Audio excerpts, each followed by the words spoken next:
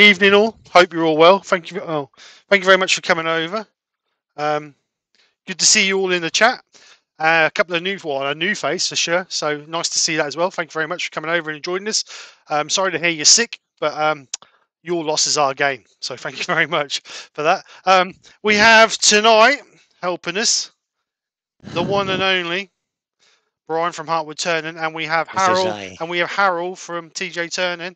Um, Terry, Harold from T- Terry tonight is um, gone to a quiz night, so we've got Harold standing in for us as we all, as actually no, not us. Ruth thinks he looks like Harold Bishop from Neighbours. So, well, That's true. welcome Harold. He does a bit like welcome Harold. um, so tonight, he ain't got a clue what I'm turning tonight. Um, but Brian, Brian says I've got to do a go- well, he didn't say I've got to do. He said do a goblet. So that's what we're going to do, goblet. So I'm going to go right through the process from start to finish on how to how to line our centers up, how to mount it, how to turn it, how to shape it, blah blah blah. We're going to go through the whole process. So as always, if there's any questions while we're doing it, or there's something you want to know um, or ask the question for. Um, no question is a stupid question. We will have to start somewhere. Uh, There's a vast array of experience within the chat, and I'm sure that if myself or Brian can't help you, then I'm sure there'll be someone in the chat who can help you. So, like I say, no question is a stupid question. We all have to start somewhere. And a couple of years ago, we were, me and Brian were where all you novices are now. Well, actually, beginners, because uh, I personally still class myself as a amateur turner, novice. novice amateur turner, because there's so much to learn. Um, you never stop learning with, us, like anything. You never stop learning. So there's always something to learn, and there's always something you can improve your technique, uh, whether it even just be holding the gouge differently or approaching differently. There's always things you can uh, improve on. So with that, I'm going to go to the lathe, uh, and Brian's going to welcome you all in. Good good plan. You go to the lathe then. Um, let's have a look, see who's in. Uh, my chat doesn't go all the way to the back because I pressed the wrong button.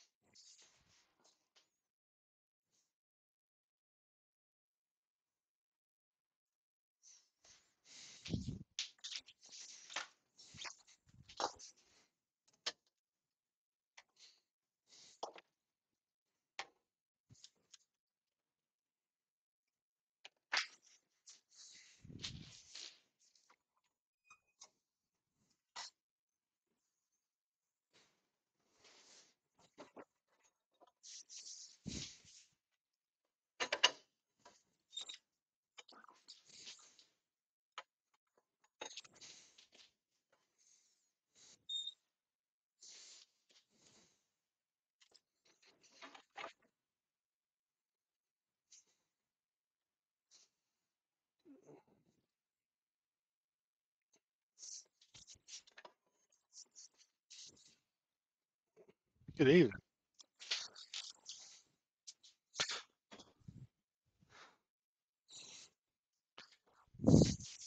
I bet it was. Uh, you can't hear you.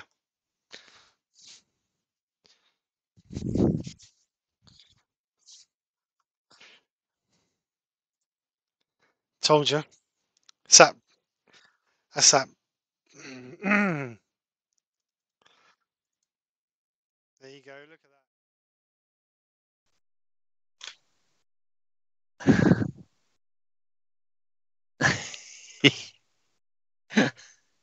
oh well, never mind. Let's have a let's have a look, see who's on the participants list now then. There you go. I hear you now. Right, can Okay. anybody hear me now? Somebody say in the chat if you can hear me. Apple Mac, here I come.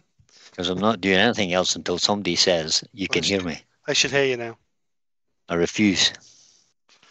We checked mine, but we didn't check Oh. We can we can hear you, Steve, but not Brian. There you go. They should hear you now. Give them a few seconds. On a. Uh,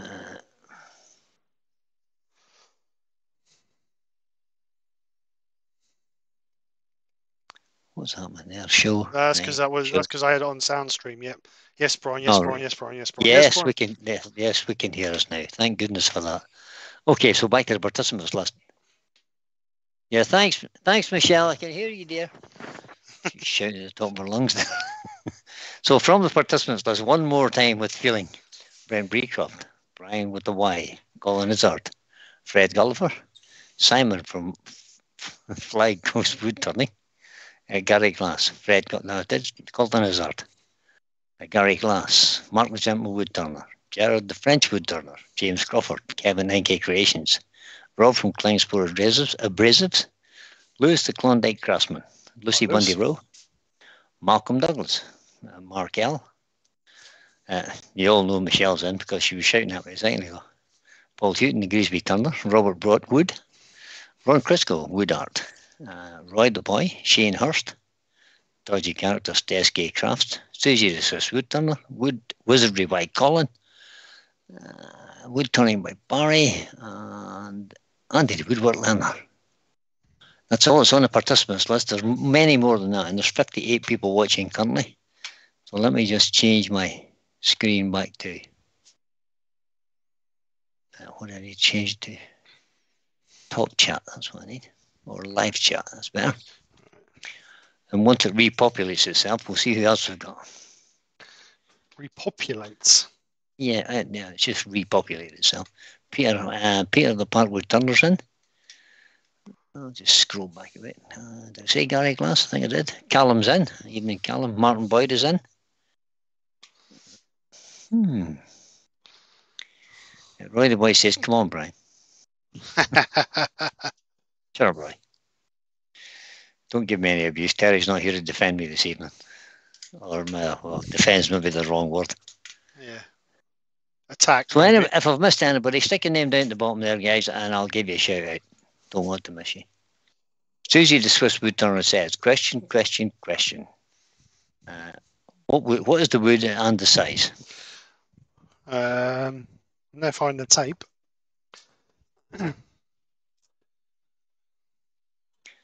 what do you reckon the wood is? I reckon it's a piece of. Uh, don't know. Ash. Yeah, that's what it looks like to me. I got it from Michael Howe. So it's 205 mil long by 95, 97. You may So- have that in inches for us old boys. All right, okay. So it's three and a three and three quarters by eight. There you go. Old school. Oh, The old man River wood turner is in. He says, good evening, good afternoon, everyone. Good evening. Right. So first thing we're gonna do is wrap it down. So turn our lathe on. Uh, the, Andy the woodwork learner says, question, question. Can we take it that the no stupid question thing is a challenge? Well, knock yourself out, Andy. Go on. Yeah, exactly. Knock yourself out, is right. Uh, and T- Terry from TJ Turning's in. He says, hello, Stephen Bryan. Uh, and all. I can't type much. I'm watching on the phone. And I'm on the wrong channel. I don't know how you, how you, how you can be typing the thing and be on the wrong channel. Wouldn't matter. And he says, that looks like spindle work. Yeah, Steve says he's going to use a skew on it as well, Terry. No, he didn't. No, he didn't. Mind you, I might have to open a tin of wax. So He, he might. Sure enough. Yes, Mark, uh, Lewis said yes. Mark had an important question. Mark, Mark. Uh, William Rose creates in. Uh, if Mark had an important question, you may put it back in again because I have lost it. William Rose creates is in, Hi, William. and many people have got now. Loads. Ooh. 65 people watching. Welcome all.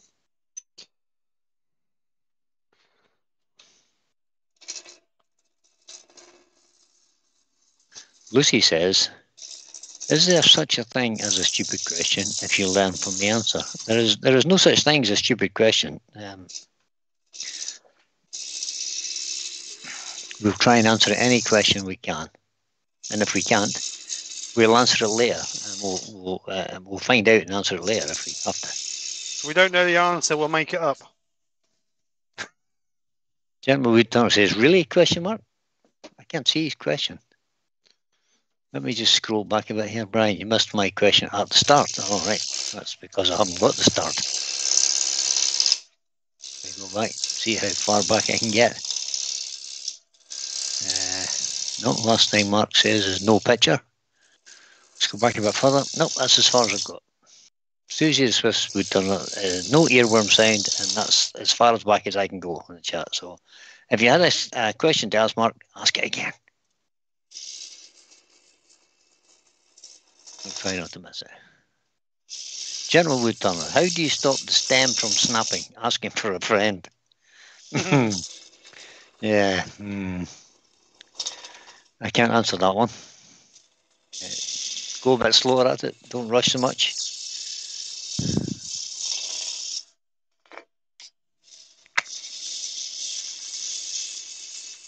So I'm just going to get this around, and then we'll. Uh... I think Mark, Mark must be making wine goblets again. The wooden stem wine goblets that he makes, and broke a broke a. I wonder did he make, did you break more than one, Mark? That's the question. Uh, Brian with the Y says, uh, question, question, question. I have not yet bought prepared wood, only raw lumber. Is the staining on the ends of the blank, the staining on the ends of the blank sealer? wax. And if so, isn't the side grain sealed? No, if you're if you're um, if you're sealing the ends of the wood, uh, you've really no need to to uh, seal the side grain because you that, that's where the, the moisture is going to leak come out. The reason you're sealing the end grain is because that's the end of the straws, if you like, and you'll lose a lot of moisture very quickly through the straws. So if you seal the ends of the straws, uh, the side grain releases the the uh, moisture far far slower. So it will help it dry. If you seal the whole thing, it'll never dry. It'll just be. It'll just sit there. Sealing the ends just helps reduce yeah. some of the cracking. It does that. It's just, it basically slows down the moisture loss. Uh, Ruby Claire's in. Hi, Ruby. Hi, Ruby.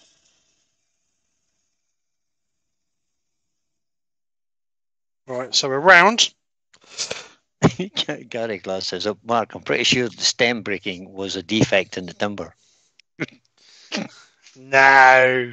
I think you're missing the point there, guy. Lucy Bundy Rose says, uh, Lewis, I always ask stupid questions. I'm renowned for it. You're not believing that. All right, so we're just going to put a tenon on the end of this. Yeah, Terry says that looks like sycamore on my phone, but the picture is tiny. Uh, I it don't could know. be sycamore. I don't know what it is, Terry, because uh, I, I, can't see what I can't see the grain so much. So it's uh, a piece I got, like I say, I got from Michael when I was down there. Uh, it could be anything. Benjamin's in. Stand by your beds. Ben's in. We're in trouble now. Trouble up, mill, lad.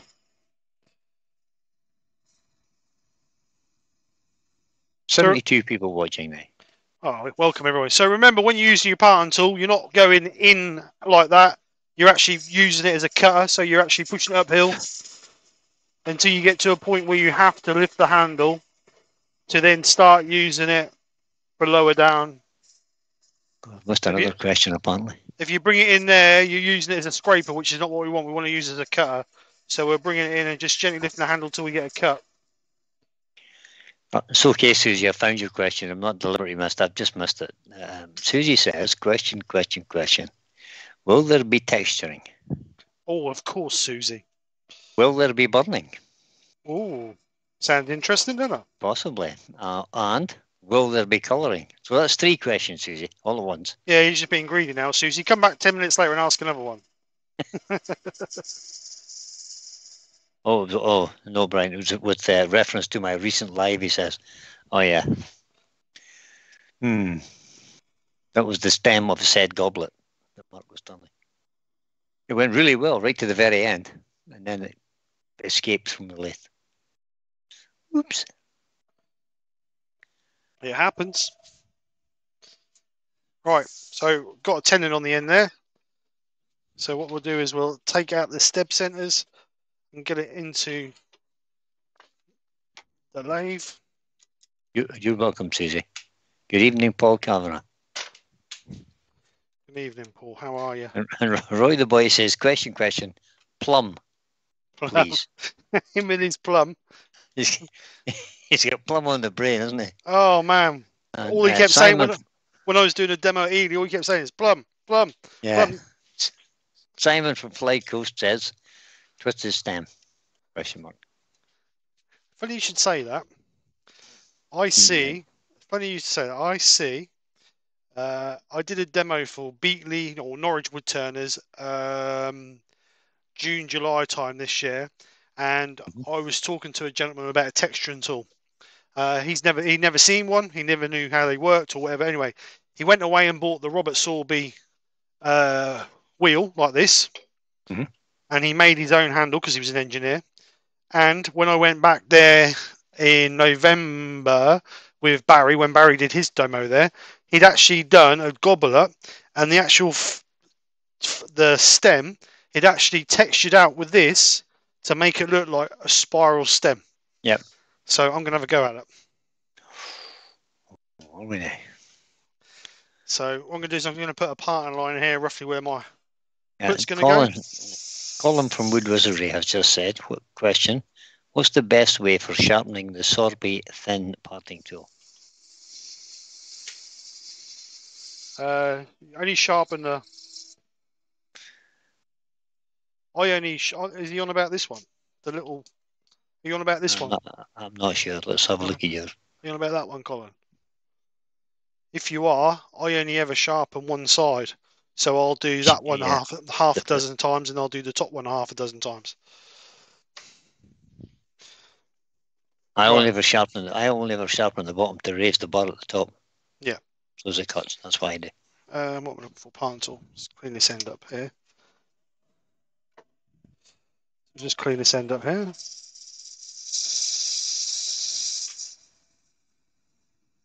Uh, Ruby has just said.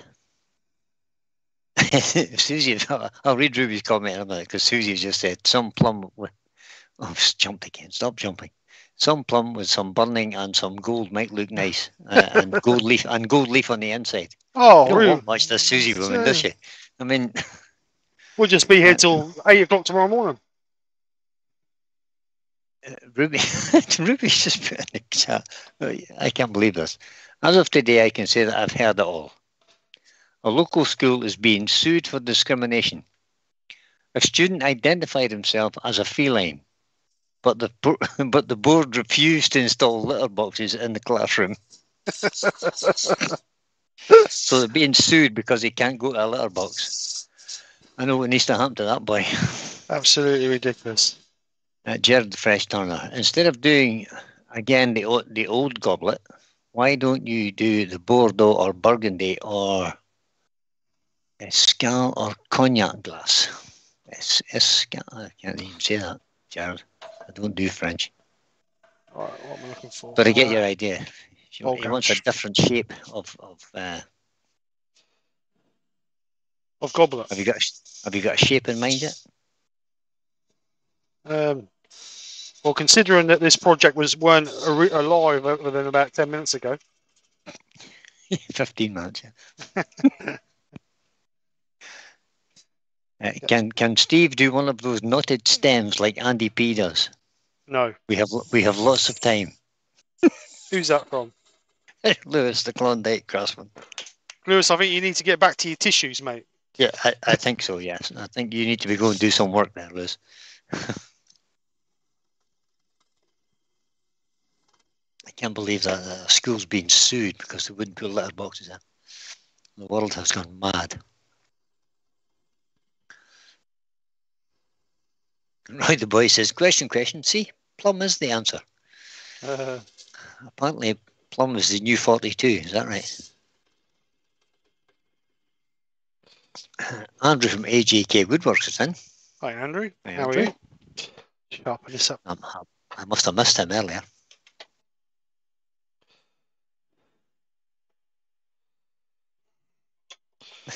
Andy, Andy Roosevelt Lever says, if the answer is you're timed out, what is the question? I, I think I'll let you answer that, Andy.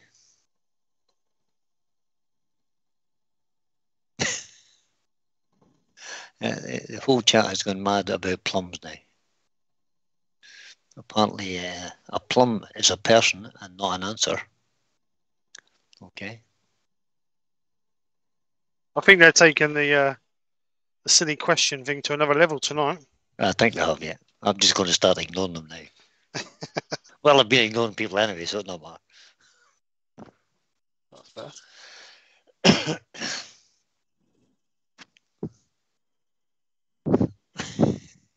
Chapman says it's ridiculous, Ruby. It's not like letterboxes take up much space. I, I, I have the vision of him going to the toilet in the letterbox and then covering it up. The uh, the world is going crazy. I tell you. Terry, Terry says he's got to go now. The food is here. Enjoy, Oh, enjoy your dinner, Terry. This is a this is a a quiz night. He's at with with with dinner included. Lovely.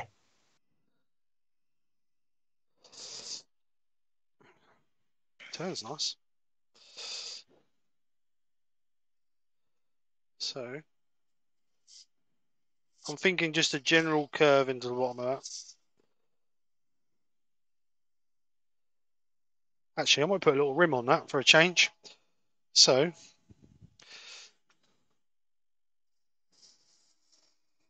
because we know like Brian likes his roll top edges. I do. Rolled edges are nice. So Um, we'll just take that down to that thickness. Andy? Andy Gibb has just joined us. Hi, Andy. Hi Andy, how are you? Uh, we're all well as far as I can work out in the chat, apart from one poor soul who's feeling a bit poorly. And Lewis was feeling a bit poorly earlier too, but I think most of us are okay. All right Mark now, 'cause says, Martin Boy says, I'm getting a rescue collie shortly. Just waiting on, just waiting to go to the vet to have his plums removed. Martin.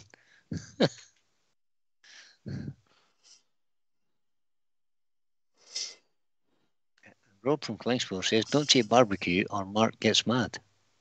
Must be an in joke there somewhere. That's a nice roll top. Bead on the rim.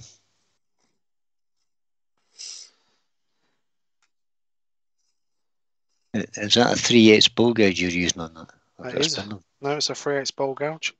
Got that. God, I'm getting good at that. Hey? I'm getting good at that. I can't even recognise tools. Wow.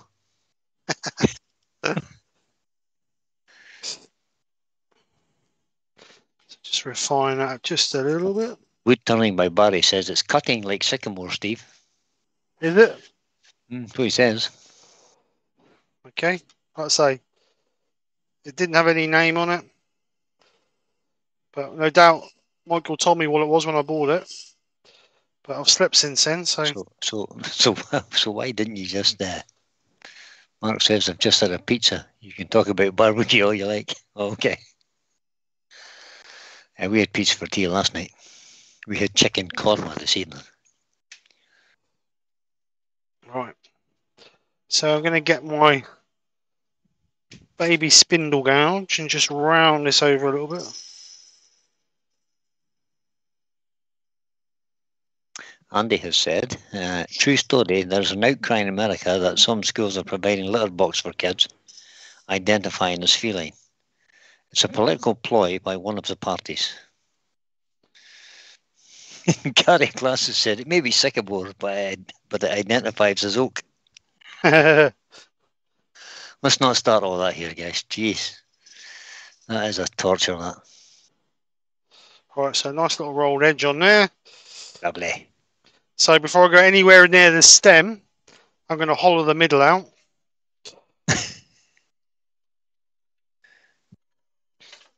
so we'll and take uh, that. Mark, Mark says it's, uh, I'm pretty sure it's sycamore, Steve. I was there when you bought them. You was Mark. There you go. So um, going to make sure the chuck is tight. So either Mark's memory is better than yours, or he hasn't slept since. I have a few more things on my mind than a bit of wood. That's for sure. You do Right. that, eh? right, so I'm going to use a bowl gouge. No, I'm not. I'm going to use a spindle gouge on this, and I'm going to back hollow it, rough hollow it out. Change camera so you can see. Uh, let's try that one. I'll just swing that round a little bit, like that. So what I'm using is I'm using the spindle gouge to back all of this. So, you know, because it's on end grain, Go change the camera. Oh, have. Sorry. I was looking in the wrong place. You're okay.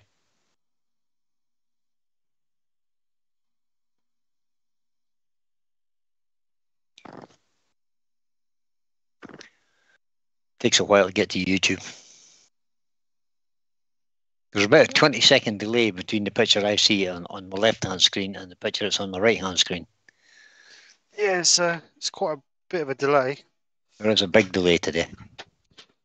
Right, so let's go that one. That's better. So like I say, we're just going to back hollow this out. You can actually use this as a drill bit to run through if we want to. But I'm just going to gently. Mark says "Ma- Michael only has sycamore in that size spindle. It's not hard to remember when you buy wood from him every couple of weeks. That's fair enough, Mark.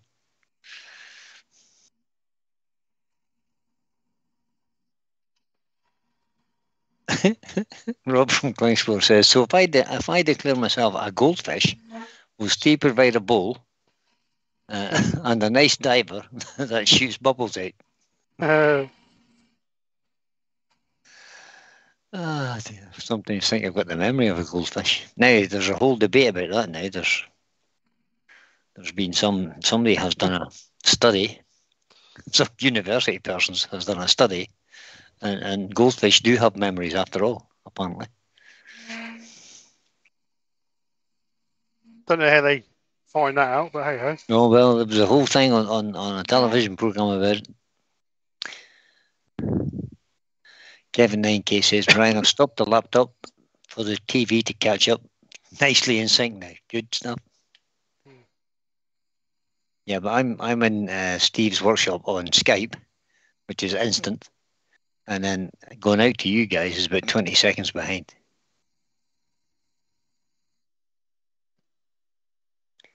Uh, Colin says it looks easy to turn, and he's not turned sycamore. Well, if you haven't turned sycamore, Colin, I suggest you get some because it's a lovely wood to turn.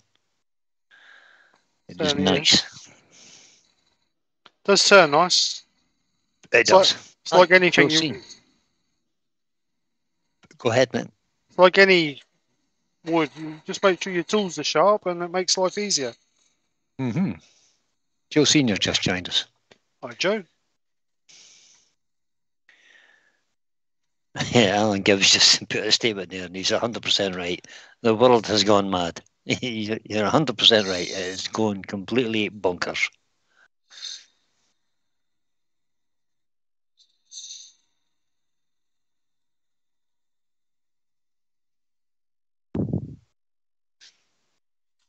Ooh. No, uh, uh, Andy the Woodwork Learner says I saw that a few years ago about the goldfish.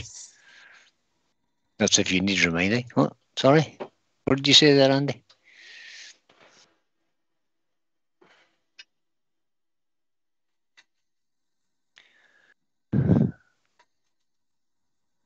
So I'm going to swap that to the Simon Hope, I think.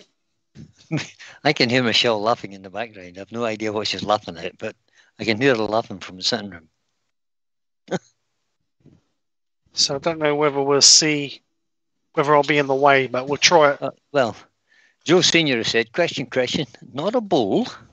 Not a bowl, Joe. Well, well, it is a bowl, really. It's a small bowl on the end of a stick, commonly known as a goblet." And Rob from Klingspor says, "Question, question. When does a cup, a bleak mug, become a goblet? Is it because of the length of the stem?" Hmm. If it finishes off with a stem on it, it's a goblet. If you break the stem off, it's a mug. or a cup, depending on the shape. If it's got straight sides, it's a mug. If it's got curved sides, it's a cup.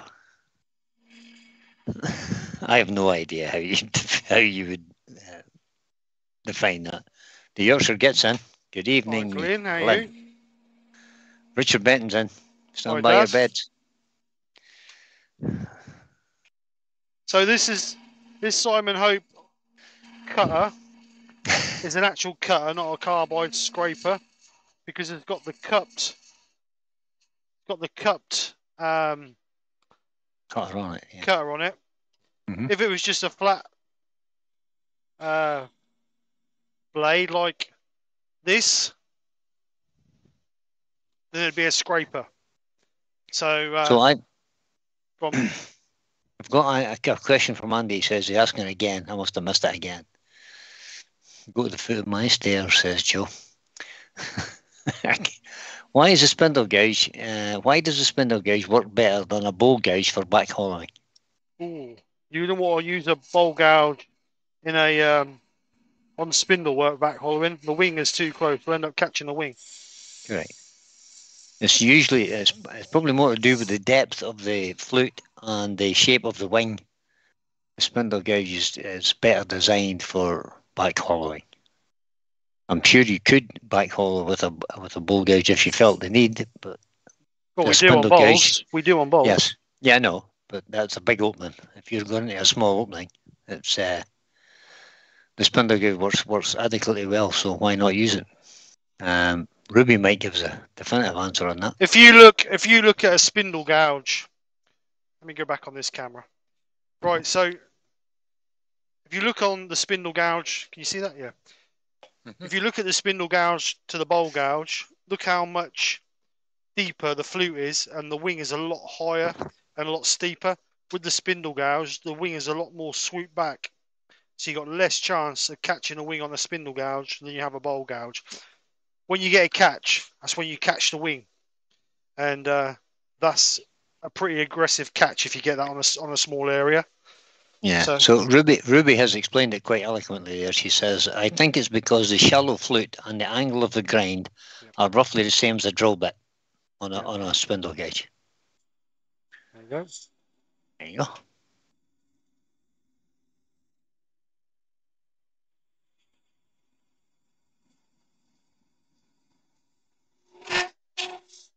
Benjamin says, I'm doing a terry. I have a selection of cheese biscuits and lots of little bits. Uh, you enjoy that, man. I hope it's tasty. Rob from Coppola Wood Turning is in. I must have missed him earlier too. All right, Rob. Good evening, Rob.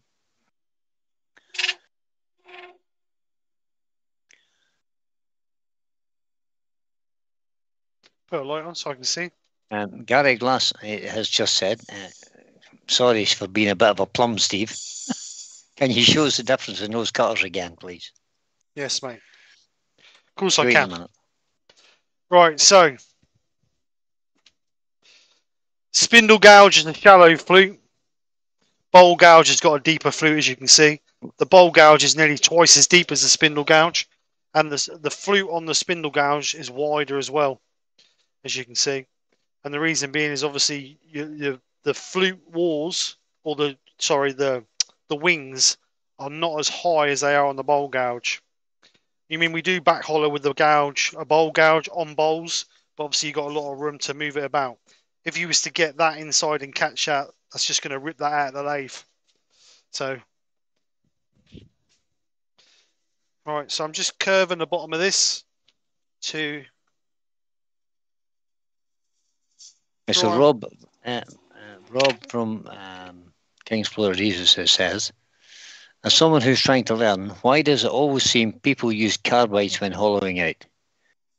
Um, so. Steve started this with a with a uh, spindle gouge, and then he went to his uh, Simon Hope Cup cutter, which is a carbide, but it's a cutting carbide, not a scraper. to get right down there with a with a spindle gouge, you'd struggle. And with the carbides, the uh, Simon Hope cutter, you got a little bit more control with it. And Uh, that's six. That's Joe has just mentioned that it's a, it's a, a the Simon Hope little six mil cutter, and any of those little carbide cutters are quite aggressive. Yeah. And they, they do get rid of um, excess wood a whole lot quicker. It's a personal choice thing again. If you want to hollow it, I mean, some people would just, just draw this out with a Forstner bit and then finish it off with a like a carbide or a scraper even.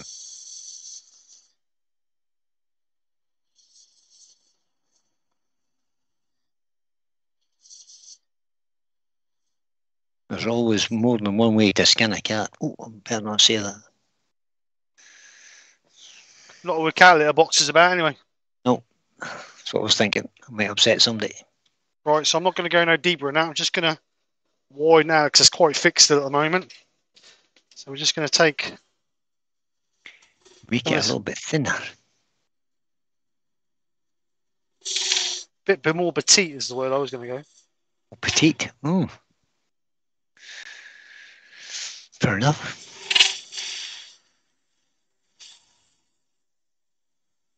The small, Lewis has just uh, added a comment. He says the small cutting surface makes them less apt to catch on a more rigid shank.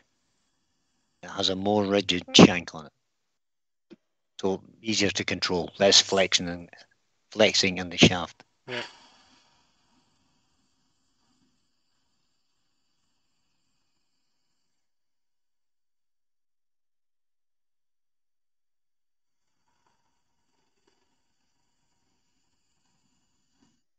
So Steve's cutting there both on the pull, the pull and the push stroke. Um, Steve was that metric measurement there, said Alan Skip. And Colin from Wood Wizardry says you can't beat a number one hollower. Well, only when Huey's in the chat.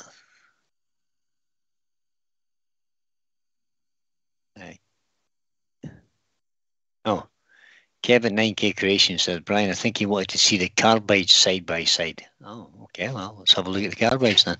Hang on one second. And Kev wants to see them as well. Roger Kent has just joined us. Good evening, Roger.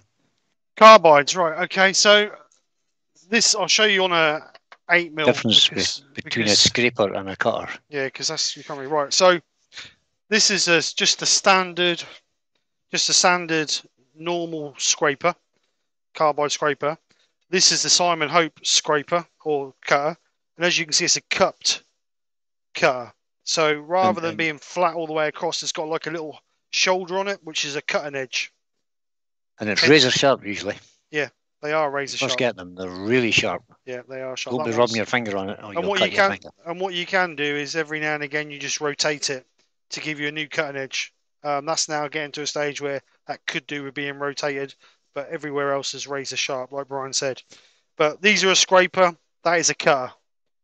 Yep. The difference between that and a negative rake is it the negative rake would have a slight angle turned on the top to give you a a, a slight chamfer on the top, so it's not so aggressive to put in. But if you use that, that's basically like using a scraper in the bottom there, so you get quite a bit of tear out. So Brian with the Y says he's question question. I've only got a homemade carbide holder, which would it be possible to fit a cupped carbide tip in place of a standard carbide tip? The answer to that question is if the screw fits and there's enough room for it to go on it, it possibly would. The only way to find out that's to try it. But if you look at Steve's, the the uh, the end uh, for the cupped cutters is usually recessed in a little bit. Uh, it doesn't just sit proud on the on the bar. It's usually a bit of a recess in them. Hey, my, my carbides are like that as well.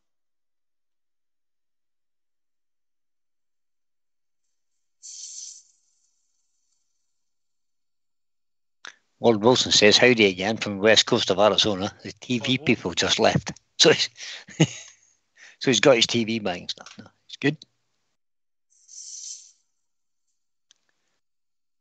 Lewis is saying that uh, negative rake doesn't give the best finish in wood, but it's perfect for resin. Yeah, totally agree.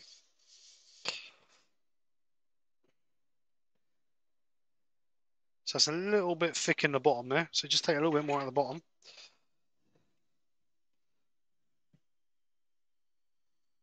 If you if you're unsure of how to fix the carbide cutter onto the, the piece of steel, just have a look at some of them. I mean, have a look at the pictures on the on the websites and, and places, and have a look and see how they're attached. um, and then have a go yourself if you want to make your own tools.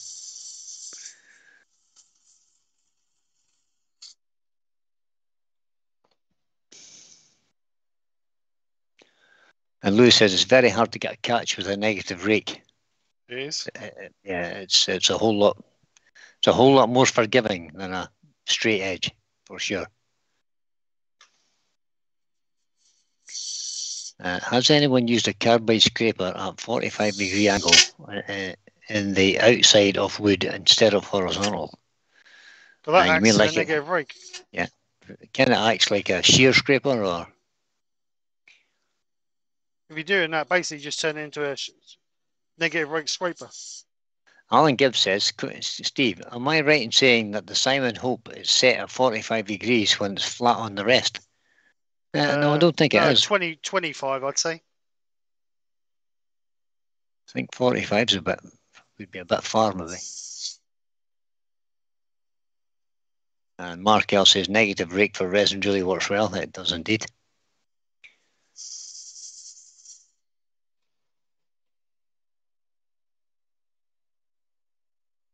Lewis just said some people like a thick bottom, Steve.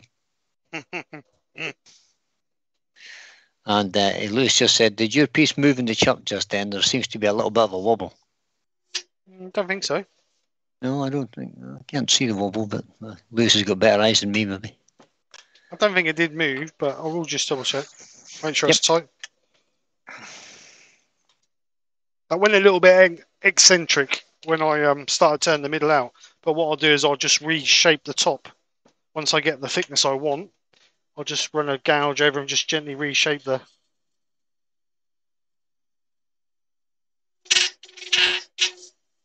Uh, Rob says a question: With carbide tools, are you locked into buying the tips from whoever made the tools, or are they a standard size so they all uh, tips for all tools?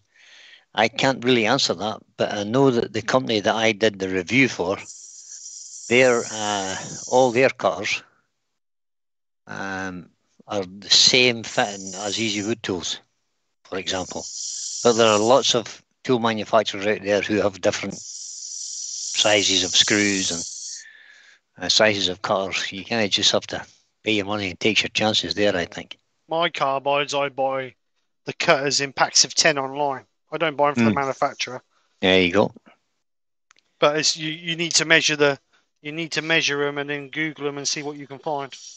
Correct. Tim from TF Turnings in. Hi, Hi, Tim. Tim.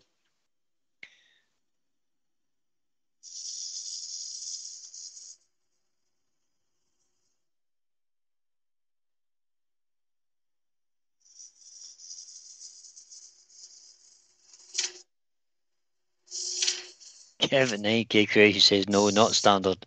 I got some too small of Evil Bay. Revo, mate. Ooh.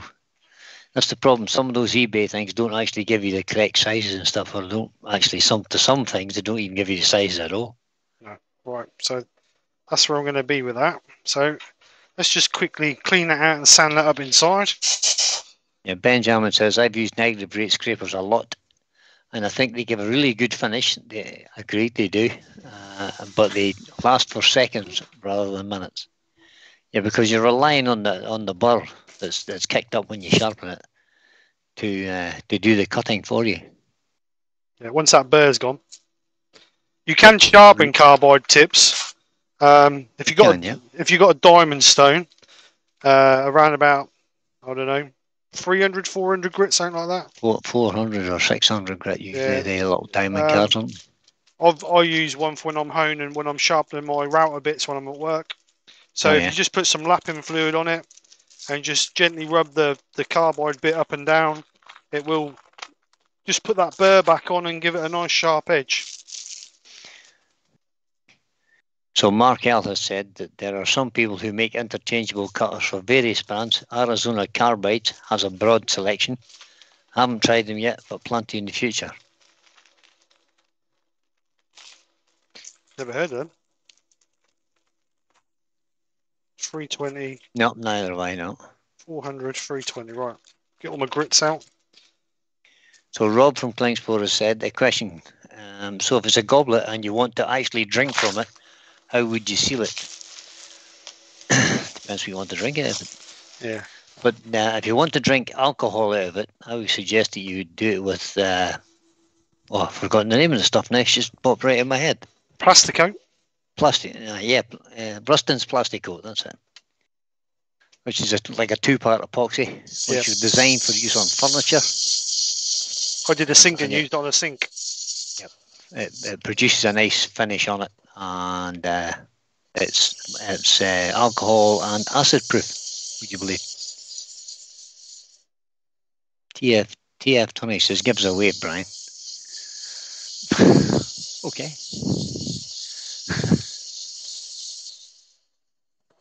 Yeah, Andy says I sharpen my carbide tips on a diamond stone. Strong magnet gives something to hold on to. That's a good idea.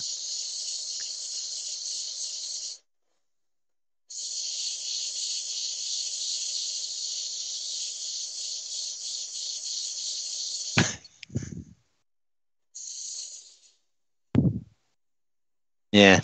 Um, Malcolm Douglas says they never uh, sealed goblets years ago. Just drank out them. As long as it's not you. Well, you'd be pretty silly if you're making a U goblet to drink out of. I bet someone has. I'm sure they have. but-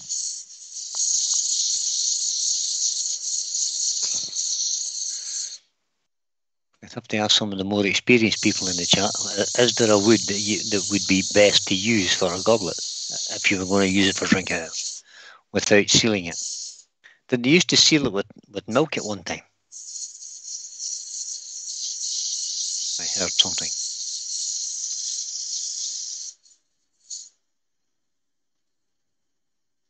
Yeah, Mark Ellis just come back and said that the Arizona Carbides is a small company, but he's heard very good things about them. All right.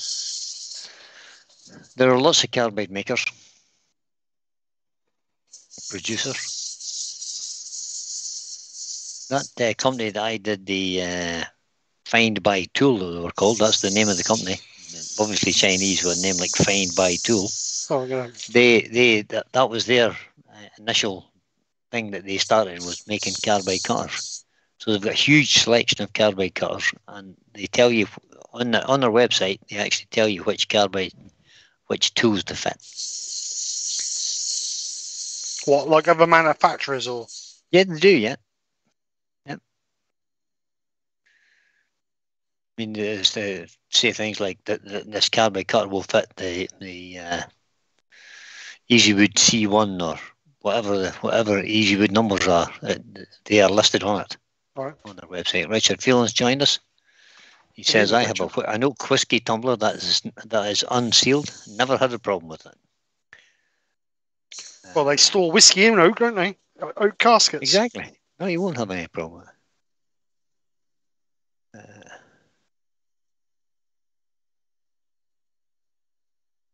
uh, Rob says, Rob, this is Rob from Klingspor, he says, Steve, do you prefer net abrasive strips over normal paper or cloth backed? Yes, I do. Yes, I do. The reason being is you don't get the score marks in it, and also um, it lasts longer. The only thing that really with sandpaper is obviously it builds up, and then you you you have to keep taking off, and it just gets clogged up. With this, the dust comes through it, and the only way you really destroy this is by sanding and getting it too hot if you don't overheat your sandpaper or the Abranet, it will last absolutely ages. And Colin reckons that lignum vitae would be a good wood, good wood for a goblet because it's so dense. Can't argue with that. I wouldn't. Uh, So last one, 400 grit. uh, uh, Rob says he'll arrange some samples for you, Steve. Oh, thank you, Rob. Thank you very much. choking now. Send me a link. What was if I call it? Send me a link. Link for what? Uh, I think it's all about the carbide you reviewed. all right. Okay. Oh, could be. Uh, I'll see. Can I find it for you now? Right. Right, so that's the inside sanded up. I should just tell you to go back and look it up on my uh, on my uh, carbide tool review, shouldn't I? Really? Ano- just to get another view, you know. And Colin, it's right at the end. yeah, it's right at the very end. Yeah, watch the whole thing. Right, so what I'm going to do is I'm just going to refine this a little bit because we've got a little bit of a wobble on there. So I'm just going to use a small uh, spindle gouge and we're just going to refine that. There's the link there to the findbytool.com. Uh, Rob, uh, yes, I'm on uh, Facebook under my my name, Brian Dewsby, or as Hardwood Turning. Of course I am, Rob. I'm everywhere. I'm on Instagram and everything. Twitter, the whole shooting match. He's a Facebook whore, he is. Yeah, absolutely. Just a tart. Uh, Lucy says, Lucy Monday Rowe, or just Lucy. Uh, I said, I recognise your accent, Steve, but I can't quite place it. Really? He's from outer. He's from outer Mongolia, Lucy. I'm from Norfolk. Benjamin says, I think that net abrasive sandpaper is a bit of a con job. You get less bits of sand per square inch. Uh, nice one, Rob. Nice one, Ben. right, so we're just going to gently roll this. Thanks, Rob. You're a star, Rob.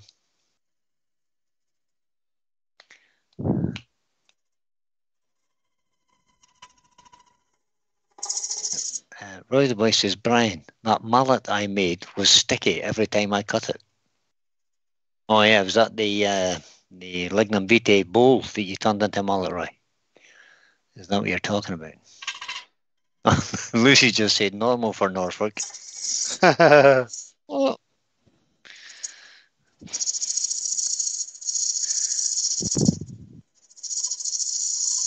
Oh, apparently net abrasive is going to be in short supply next year, according to Rob. oh, wow. Why is that then, Rob? Is there a reason why? Or net sand or what? Run it, son. Run it a net. Right, so it's nice, as I like that. Right. Lucy says her husband is originally from Beccles. Oh, yeah. B-E-C-C-L-E-S. Is that Beckles? Yeah, it's on the Norfolk, Suffolk. Yeah, North Suffolk. Yes. And Roy the boy said yes, that was the Lignum Oops. Ride the bevel, Steve. You'll be all right. Yeah, you will. Uh, just engage the bevel. Anchor bevel cut, Steve. Come on, get a grip. and net abrasive is great for sanding rough skin too, apparently, says Colin. Too much information. Pete from Twisted Trees is in. Hi, Pete. How you doing? Uh, the abrasive is available, as is the Velcro bag, but the hole, but the holes are too hard to get. I'm having trouble finding holes, are they, Pete? Good. Jesus. Lionel's in. Good evening, Lionel. Hi, Lionel. How you doing? We have got 89 people watching, Steve, and you've been going for 55 minutes. Thank you, everybody, for coming over and joining us. Right, so what I'm going to do is I'm just going to get rid of some of this. I'm going to use the spindle rough and gouge just to get rid of some of that. Apparently, Suffolk is way better than Norfolk. Is it? Why is that? That's according to Benjamin. It's because Ben lives in Suffolk, I would imagine. I I would think that would be the case.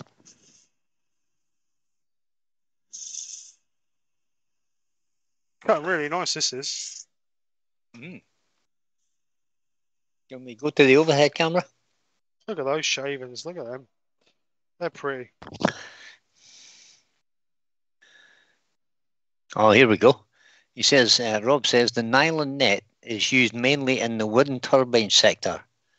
And, uh, and they use a massive amount, so they control the market. Oh, wow. And because of the energy crisis, everybody wants wind turbines. Ah. And Stephen the Wood Dude has just joined us. Hi, Stephen. You mean because of the profiteering on the energy market? Is that what you mean? Yeah, profiteering, yeah. There is a huge amount of profiteering going on when you look at the price of oil.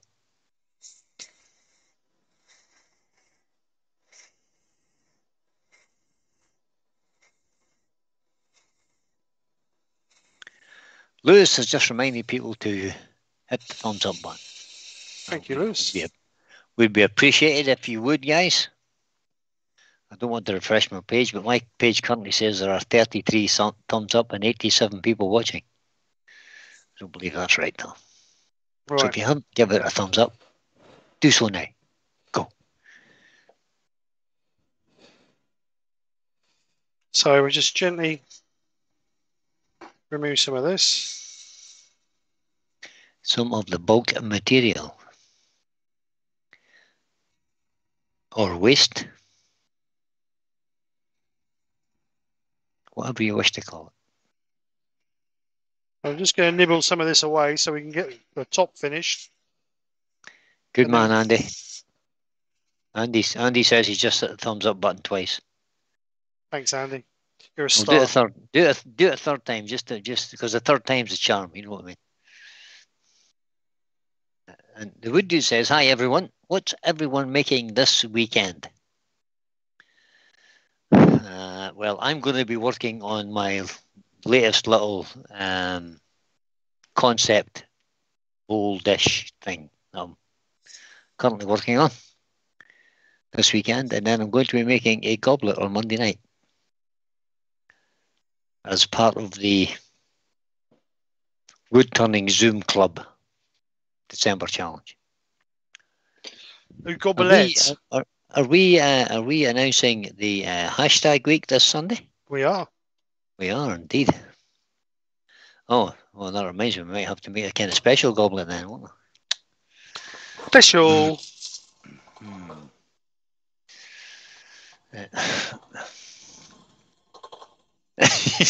Uh, Lewis has just said that's small enough, Steve. We've seen too many broken stems. That, wasn't a little dig at Mark Jim Woodnar, was it? Or, even or even Mike at the Waldt. Not the goblet king, Mr. Waldt. and Andy, the Valley Wood Turner, who is the other half of uh, Lucy, says, Hi all, finally got the kids settled. You've been reading them bedtime stories there, Andy? Just You the should- best times You should have just sat them down and watched this. They'd have been asleep in five minutes. Exactly, that's what I was thinking. They're the best times with kids when you can sit down with them at night, just read them a book or something. Exactly. Fabulous. When they're teenagers like mine, they don't want to know you. Well, unless they want money or they want taken somewhere. I, th- I think uh, the Yorkshire Gets plan for this week is getting himself drunk. No. Oh, shock. Hmm. Paul Cannon says, I'm going to make a mess, I think. Paul, you go to somebody else's workshop? Because you'll never know if you make a mess in your own.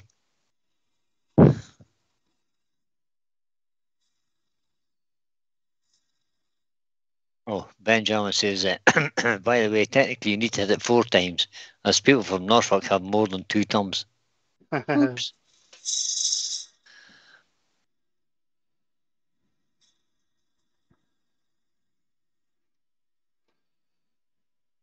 Is anybody doing anything exciting this weekend? Anything that's uh, out No. of the ordinary, no. not just the norm? I'm busy tomorrow. I've got a horse that's not very well, so he's in the stables, so I have to spend a bit more time doing him. Twice a day visits and give him some medicine. Uh, Susie Turner says, uh, Stephen, in Switzerland, the Christmas markets are mostly outdoors. On Sunday, it will be zero degrees to set up at five in the morning. And then later, it will be four degrees. um, stay in the house, Susie.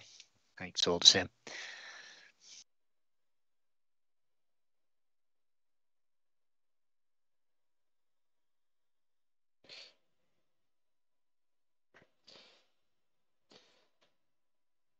Just going to check that. I don't know if I can get a little bit more. Ford, Ford Wilson has just said, eh, have them listen to Mike Waldt reviewing a product. They'll be out like a light. That's, that's terrible. It's a bit harsh. As Wood Dude says, Brian, I might be making some YouTube videos in the new year. Oh. Now, that's not before time, Stephen. Uh, because your stuff is amazing and we would like to see it. Definitely. Yeah. Sore throat. Paul Kavanagh says, sore throat is your little horse. Okay, Paul, very good. Richard Phelan says he has two markets this weekend. Oh, gearing up for the Christmas market season, Richard. Good for you. Got lots of stock made. Rob says he's picking up his youngsters, young, young, youngest, I can nearly talk, picking up his youngest uh, from uni, uni for Christmas. Can't wait to see her again. Ah, excellent. Home for Christmas. It'll be okay for the first couple of days, and then she'll turn into a nightmare again. yeah. You'll be like, when are you going back? Yeah.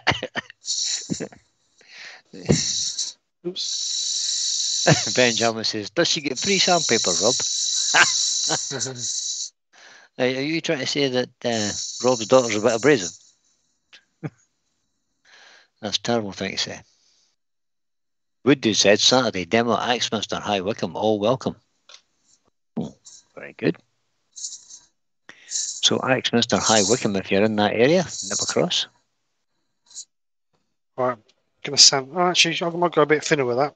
No, because I was going to try and spiral that one. I so I don't want to be too thin. You were a bit, yeah. So I'm going to put a bit of a a bead in there then. Uh, Lucy says, uh, "What days are you at that? what, what days are you there, Rob?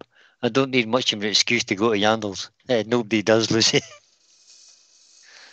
it's just it's a bit far from here, unfortunately." Kev at 9K Creations is, is causing a bit of an upset. He's actually saying captive ring, captive ring, captive ring. Just put him on timeout, will you? I think I will if he says it again. Ward Wilson says, called my vet to have the horse's teeth floated. That means rasped, by the way. Uh, she can't see until next March. She's so busy. Wow. That's uh, it's a long wait to get the teeth floated. Mind you, if they're on hay at this time of year, Ward, they shouldn't need it really. Should be able to. I find that they don't need their teeth floated as much in the winter when they're when they're actually chewing the hay. Can't you just give him a brick to chew? Hmm? Yeah, give them a break. Yeah, that's not going to work. Um, during the summer, they might sometimes need their teeth floated a wee bit because they get sharp edges because they're not really using their teeth as they should. Well, because they're eating uh, They're eating grass. so- yeah, so you're eating short grass basically, and they don't have to chew it the same. Uh, horses are designed to grind their food at the back of their mouth with great big teeth, and that's the teeth that get sharp edges on them. Right. Right. So Woodsit says, just say no to captive rings. Woodward Lerner says, two captive rings. Who started this captive ring nonsense? whoever says captive ring, just put him on timeout. Okay, mate. Useless item. Captive ring. Oh, Lucy says, does that include the weekends, Rob? if not, Andy may take a day off.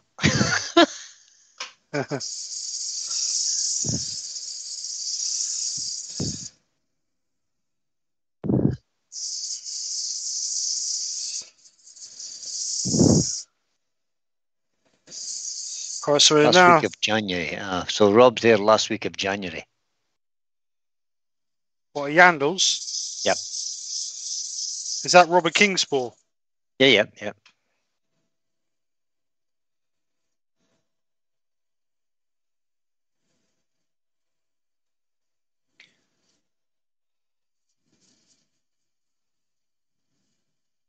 So Alan Gibb says he's go heading over to Germany to bring back bring uh, my son and dog back to Scotland for Christmas.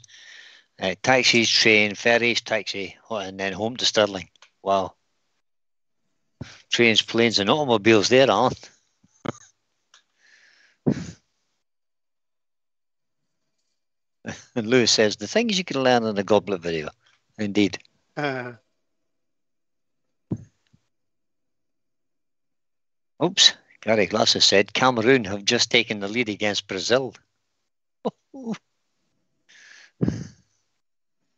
That'll be interesting if they beat Brazil.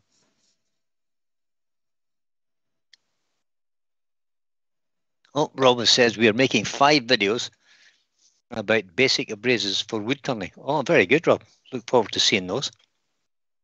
If you need somebody to help make your videos, I'll uh, I'll happily volunteer.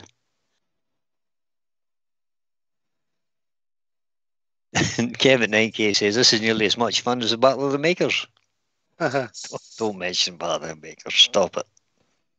Nothing. Of course, uh, myself and Joe would be in an, an, an unassailable lead, being three up and one to play.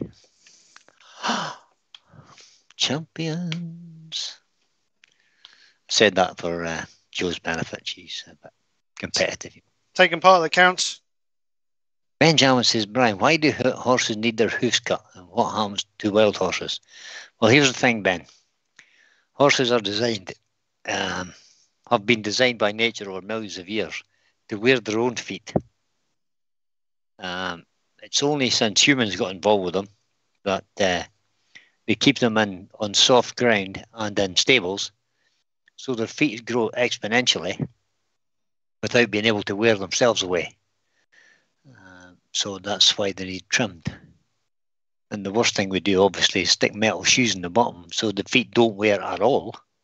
So they're just growing and pushing the metal. They're trying to push that metal shoe off, which is nailed on. Which is, can you imagine how that would feel? Yes. Um, so that's why the farrier has to come, pull the shoe off, trim the foot back, and stick the shoe back on again. Kind of pointless. My horses are never shod. I don't shoe mine. They, uh, I do have to trim them because we haven't got hard ground here. Uh, we just shoot it's farmland, so it's kind of soft except in the summer when it dries out. But in, in places like America and um, where horses are kept naturally, or more naturally, um, they, uh, they're on hard ground. They wear their own feet. If you look at the American Mustangs, their, their feet are perfect. And it's all done by nature. They can do it themselves. Don't get me started on horses, guys. Now, what's Steve doing? I'm practicing. We're sanding, sanding the cup. Sanding me goblet. Jared, the French turner, says, Sorry, I have to go early morning, lots of Christmas shoppers. Breakfast. Uh, need to hit the sack early. We did 110 brekkies this morning. Wow. Well done. See you all soon. Same place, same time. Good night, all. See you later, George. Night, Thanks for coming in, buddy. Your company is appreciated. What did Lewis just say? I missed something Lewis. Yeah, I cannot understand the hype of the World Cup. It's in the middle of the hockey season. Yeah, I know. It's totally out of. Uh, they've just totally out of sync because they've had to do it in the desert. Because somebody had got a great big fat brown envelope handed to them. Oh, did I say that out loud? Apparently, them envelopes make the world go round. They do, apparently, yeah. You didn't let go of the sandpaper then, did you? Did, did you drop the sandpaper? Yeah. I must have, because I'm trying to read the chat. Not like Steve to drop something, of course. I nearly went down the extractor. Oh, no, even worse.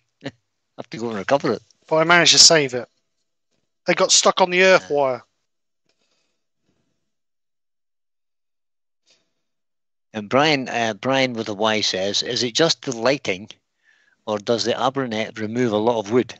It does remove a lot of wood. It does, and you can see it because it actually goes through the, the gaps in the the mesh. Right, so that up to there is all sanded up to 400 grit. So what we'll do now is we'll move down here and create our stem mm-hmm. and uh, the foot. So we'll just remove some of this, speed the wave up a little bit. So Rob has just said the market for cow and horse maintenance is massive. Um, yeah, there's not so much. There's not so much, uh, not, or not so many people here using abrasives for um, trimming horses' feet but I did have one guy arrived here to, to trim my horse's feet, and he used a four-inch angle grinder with a, an 80 grit flap disc on it. And it actually did it very, very quickly and very um, easily. But there's a whole lot of horses would not uh, be, take kindly to a four inch angle grinder being rubbed on their feet. We could do it with my horses because they're well, really well trained. The Yorkshire Grit has mentioned the captive ring again. Stop it. And Kevin 9K says at slow speed, Abranet lasts forever. does. Well, that's good. See, I have some. I have. I had a little sample pack. Of, I can't remember where I got it. Tiny Tunnel or somewhere. The only thing I I find that I just couldn't get on with it. Abranet is the heat. Obviously, it Right. wears out like anything, but Yeah. but if you look after it, So I'll be interested to have another try at it.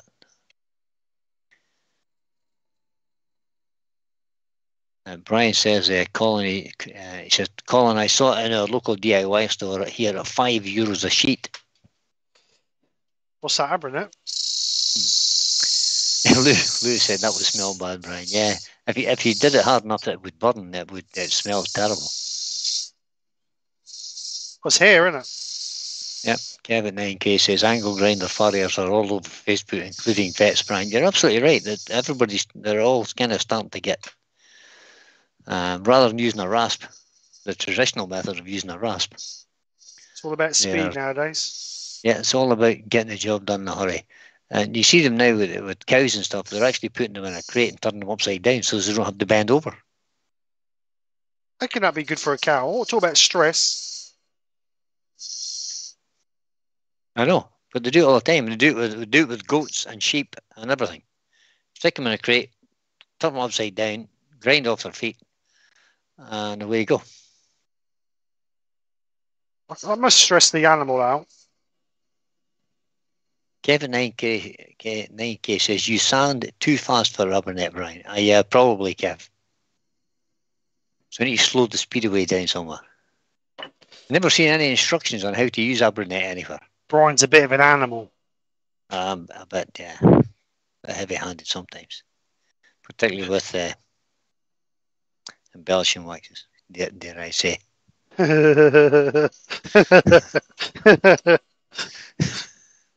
Let's not mention. let's not mention waxes. let's not, yeah, let's not go there. Oh, so so uh, there's Rob explaining there. He says net products are nylon, so you need to run them about half the speed of normal abrasives. Ah, well, there's the problem right away then. Hmm. Oh, Paul Calvin says flipping the estate before it's a stake. Or flipping the stake before it's a mistake.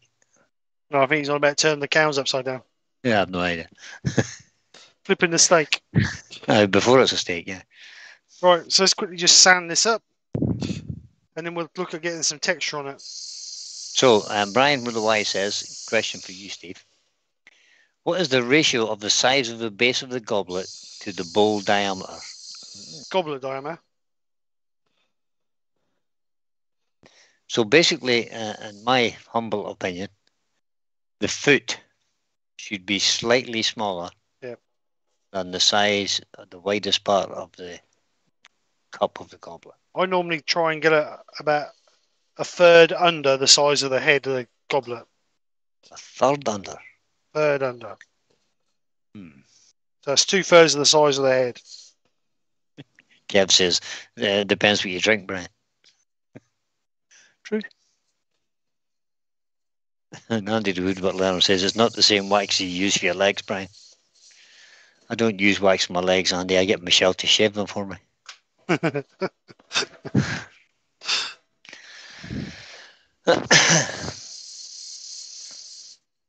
Yeah, Rob says the nylon melts and covers the abrasives so you don't get any friction anymore. And then more heat. Just ruins it. It does.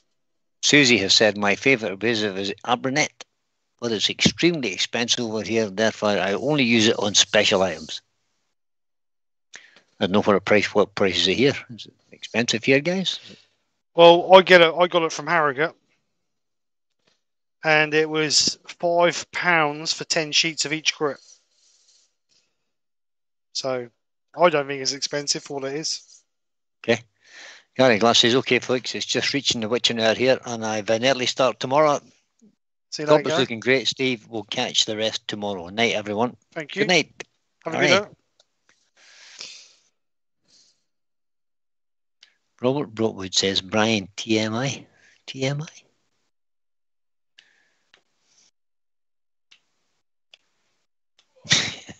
and he says Michelle has a four inch angle grinder too, Brian. Hmm.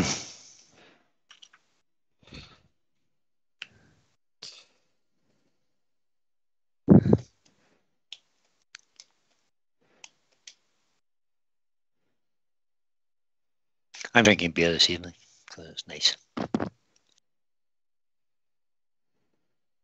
Not your Doom bar. Just a little bit of Doom Bar, yeah. Richard Phelan says £20 for a box of 50 sheets. Well, that's actually quite reasonable, I suppose. Yeah. And Kevin Nine Kevin Nine K says uh, Susie, what was that? Show that. Uh, Kevin Nine K says Susie, the mixed pack at Ely Wood Turners is two pounds for five sheets. Right. All sanded up. The wood dude says Susie, I sell used Abranet. Please DM me for samples. You're a tower, Stephen. Stephen's always looking for a way to. He also gets his on his first tin. That's a lie. Oh, first tin since the last one. yeah, first tin since. Right, Nine so I want to have a go at this texturing on this shaft now. I've left some meat there just in case it goes Pete Tong. Because I So, can, um, so. Go ahead. Yeah, the texture thing. Yeah, okay. so do I go down or do I go up? I've no idea, mate. I've never tried it, so I can't help you with that one. Somebody in the chat will tell us, though. So Kevin 9K says they're small sheets, though. So what size of sheets do these things come in? This Abranet or, or Um, net abrasive? These sheets are 120 long by 65 wide. Right, so five inches by three inches ish. Slightly less. All right, Hmm. go. I'm going for it. So you just have to keep doing this. You just keep- keep repeating this, don't you? Apparently so. Yep. Without moving it. Yeah, well, you got to get in the same place at the beginning all the time, haven't you? Don't think that's working. That just looked. Oh, I don't know though. I don't know. Maybe you might need to angle a bit more. I don't know.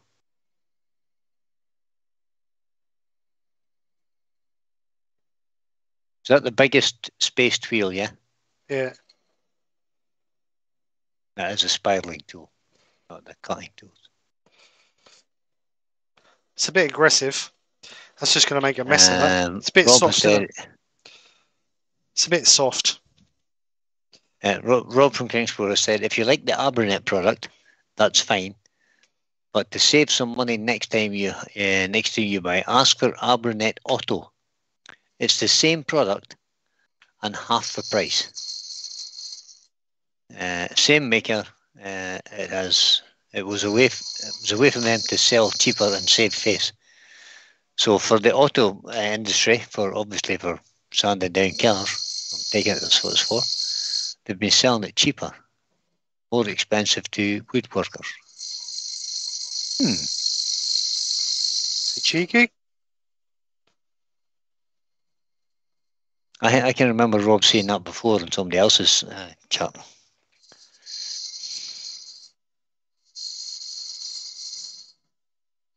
So the wood dude says you just have to keep going, Steve, to get the barley twist.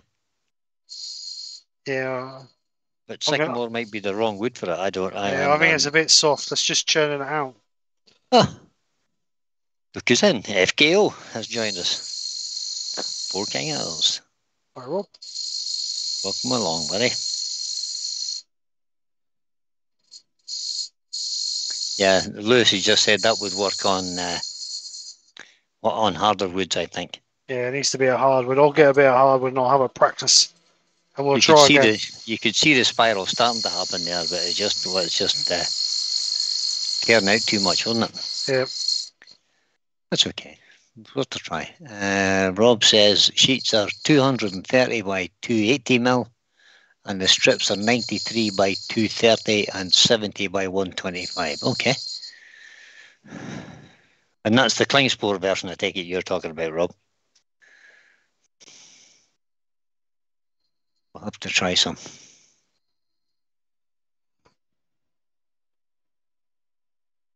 Wow. Susie said that in uh, Switzerland, I can, she can only get the wood turning Abranet, and it's eleven pounds sterling for ten sheets of the Wow. size that Steve is, the size that you're using. Eleven pounds for ten sheets. Yep. Wow. Over a pound a sheet. And she says I, I wouldn't know where to get the auto type. I never heard of it. You might want to try some. Uh, um, what's it you call them places that does all the car parts, Steve? Automotives. Auto, yeah, automotive places. Um, there are lots of lots of places that just sell to garages and stuff. Yeah, yeah, we've got we've got one in our local town that sells nothing but spray equipment for the garages. Yeah. Yeah, Rob just advised the same thing. Go to, go to an outlet that deals with car repairs. Yep.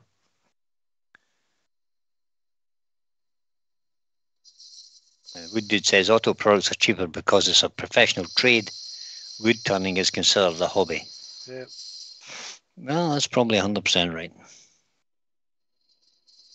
Uh, Kev says Otto Abranet, 70 by 185, 50 sheets for £340. Is that, did you mean to put that in, Kev? Is that the right price? Is that what you said? No, £34.99. Oh, factors, that's it. Motor factors. That's the that's the word I was looking for, Andy. Yeah, motor factors. She's getting a bit delicate. I don't want to go much further than that. You want to support the cup maybe in your tailstock? Well, I could do. You could do.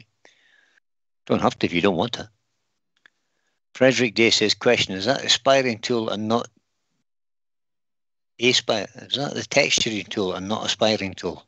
I Yeah, can't tell the difference. That's the spiraling tool you were using, isn't it? No, it's a texturing tool. Is it? That's a texturing tool. That's a Robert Sorby texturing tool. The big one. Yeah, yeah, yeah. But that, that Not the middle. cutter that you've got on there is called a spiraling tool. Is it? I don't know. That's yeah, what came with it. is, yeah. Oh right, I don't know. the That's cutter's what... a spiraling tool. Oh yeah. right, okay, that's what came with it. so- The other one, the, have you got the other ones, Steve? Did you get the other heads as well? No, no, no. I just got that one. Just got that one. Right, here. so that's the spiraling tool. That, Oh, That's what that is. It can be used for texture if you hold it up upright, Right. and uh, you can get you can get spiraling texture marks if you tip it over. The other cut, the other ones are cutters. They've actually got a sharp edge and a, and a, a, a chamfered edge Right. Okay. I'm with you. that you get the, for the wheels that you can change over. So I'll put my tennis ball in there just for a little bit of support. Lewis has said, "Is Mark the gentleman wood turner watching? the stem's getting thinner, and if so, you'll be getting stressed." That's not very nice, Lewis. you you break a stem once, you know. Or you do it again and again and again. Uh, in the UK, 115 millimeter times 50 meter roll sells for around 40 pounds. What? that ball's a Oh. little bit too small for that. Oh, is it? I'll um. Oh, is it? Okay, so. Hmm. It's just going to cause it to wobble and put more stress on it. I'm only going to Yeah, sand it. do I'm only going to sand it anyway now. Oh, I want to Mhm. put a bit of texture on it, didn't I? You did. But you should have done it. Mark says, I'm not getting stressed, not my goblet. yeah, quite right, man. So just sand this down gently. It's only a bit of wood in it. Yeah, Stephen the Wood Dude says, Steve, go thinner, just for the entertainment value. Uh, let me think about that. No. Eh, no. I knew you were going to that. If I break it, they'll be calling me the gentleman wood turner. Steve, Steve said, uh, Steve the Wood Dude says, Stephen the Wood Dude says, does Mark make goblets? He does. He had the best trainer. Mark? Have you not? Have you not seen the big long stem spiral goblet that Mark did? It's a beautiful thing.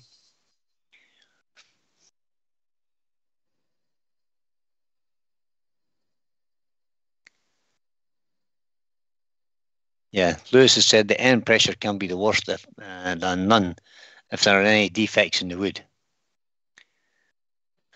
Definitely. And, Robert Brockwood says, "Who needs fifty meters of sandpaper?" Well, now you come to mention it, Rob. yeah, exactly. Yeah. If there was five or six she's got together and bought 50 metres, you can have 10 metres each and it would last you forever. Like I say, I don't use a lot of sandpaper anyway, so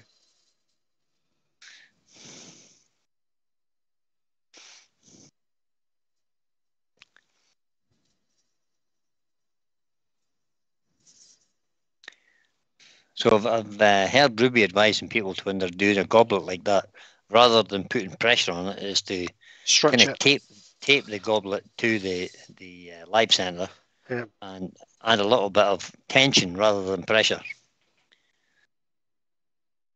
Yeah, because when you put pressure Ruby- on it, Ruby's if- just said Ruby's just said that in the chat. Use tension, not compression. yeah, because when you Yeah. tension it, you you're forcing it in, aren't you? So you're causing stress in here. When you stretch it, And Ke- Kevin Nike Creation says, "Yeah, we've seen what end pressure can and a vacuum does to walnut, Brian." yeah, it did. Just the uh, on my live last night, the walnut bowl cracked. did it? Yep, it cracked it on the rim because the the pressure of the vacuum was pulling the center in, and it pushed the, the rim out and it cracked it. Oh, blimey. Had- It was a big crack too. Everybody had it. yeah. So I had super glue. Good old super glue.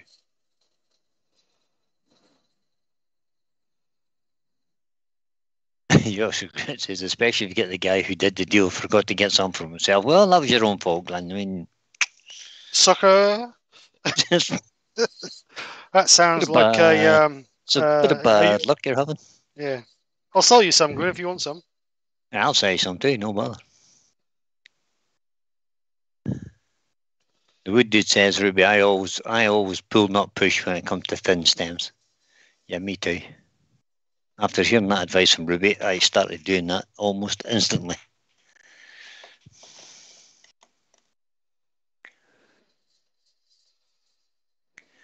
So uh, Rob, Rob is suggesting, this is Klingspor Rob again, uh, I need to find some outlets that are willing to sell it by the meter. Okay.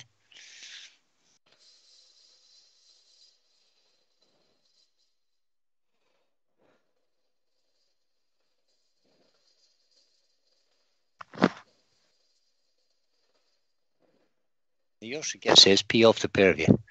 it's not very nice, Glenn. We're That's trying to help you nice out. I'm trying to help trying you help out. you there. I mean, I'll say a reasonable price, like. I was thinking about two pound fifty a meter.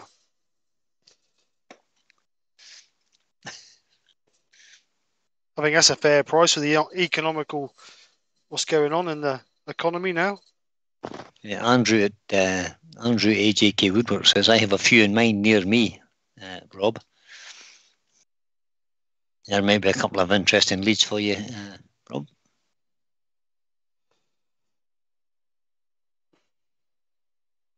He says, uh, Dad says, don't put the tennis ball in the end and use your end point. Yeah, but um, that's nice and smooth in there. I don't really want to mark it. Okay. That'll be all Well, right. just I ain't rest. go- I ain't going to yeah, go no just fa- risk it. I ain't going to go no faster than that. I'm only sanding it and a little bit of texture. I think I might put a little bit of texture around this middle of this ball and a little bit around the top here. But other than that, I can support it while I'm doing that. I'll give it a shoulder to lean on. So there you go, Andrew. Uh, says, please let me know when in GP and give me some ideas. In, in January, I'll be contacting them to try and set it up.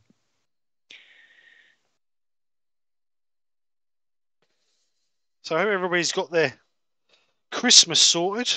Soon be round the corner. Three weeks today. It's Christmas. No, twenty third, isn't it? Three weeks. So Frederick Day has said, uh, evening Frederick, um, I suppose you could still texture it if you had a lathe steady. I have. It's here. Few fingers. Just put my hand behind it while I'm pushing on it. It's not going fast. It's only about 400 RPM.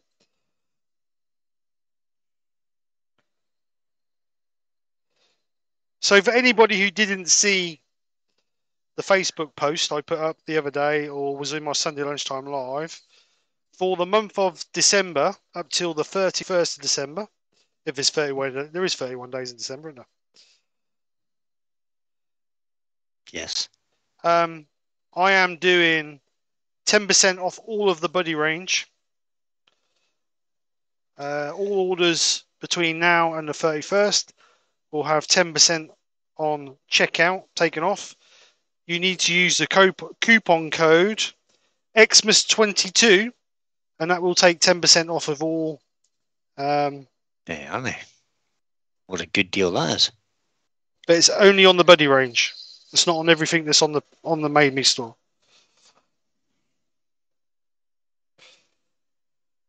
There should be next week. There should be uh, a new product added next week. Hopefully, um, we should know if the axe, not the yeah, the Axminster faceplate holder is good. So um, if it is, then that'll be going up as well. Hmm. So that I know a lot of people have been asking about it. So I'm just waiting. I've got some more samples to send out to Pete. So as soon as Pete gets the new samples and tests them, we will know whether they are good to go or not. Yeah, Andy Woodward Leonard says, I hope there's 31 days in December. That's my birthday. uh, changed this year, Andy. And uh, has said, uh, 22.5 metre roll, 80 grit, £12.28. What? Wow. Yeah, but what is it? I don't use that much 80 grit anymore. I used to use it a lot, but I don't use it as much now. He's learned how to use a gouge now. The Yorkshire Grit said, Oh my god, this is like a rolling advert. Yeah, stop complaining. We could be advertising Yorkshire Grit.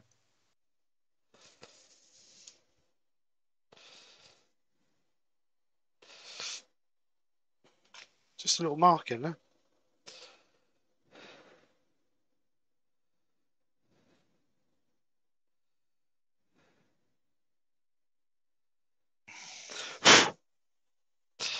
Right.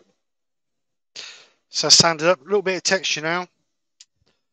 So um, let's just get the mini texture. Where are you going to? Where are you going to texture? I'm just going to put a little bit around the rim, just some dots Oh. around the rim. Ooh. Not around the rim, just below the rim. There. What are you shhing for?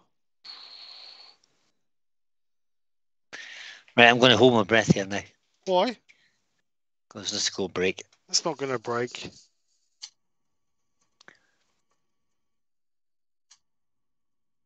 Yeah, the postage to Switzerland is quite expensive, um, as I've just discovered. Susie was complaining that it cost her 20, 20 pounds to get stuff delivered from Axman. It's not as dear as twenty pounds, I have to say, but it's uh, quite expensive. Right, so just some little lines around there.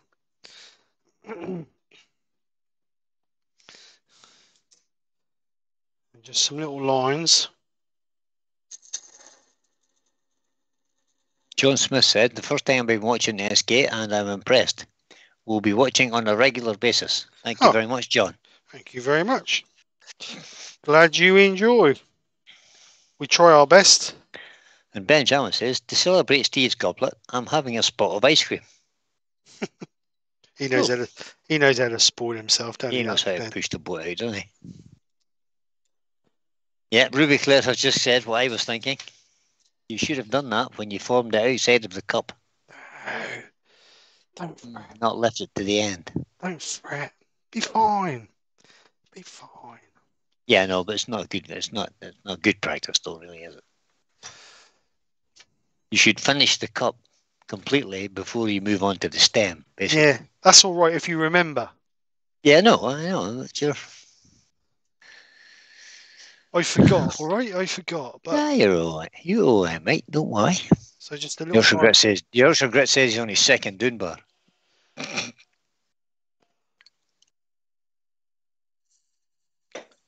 That's only in twenty minutes, in less than twenty minutes.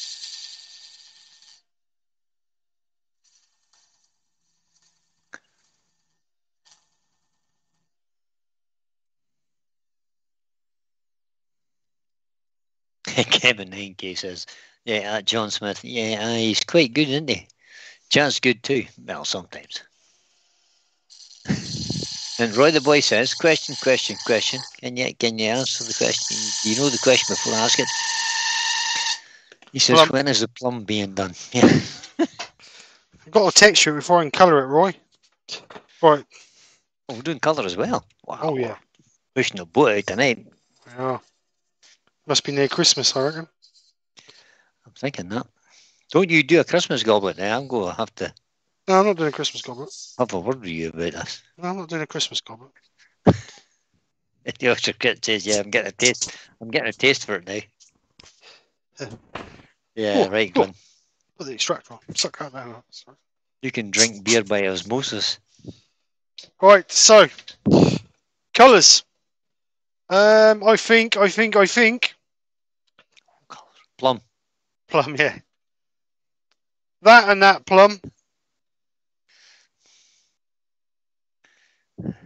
A bit of black in there and a bit of gold, I reckon. What do you think? I, I thought you were going to see yellow then.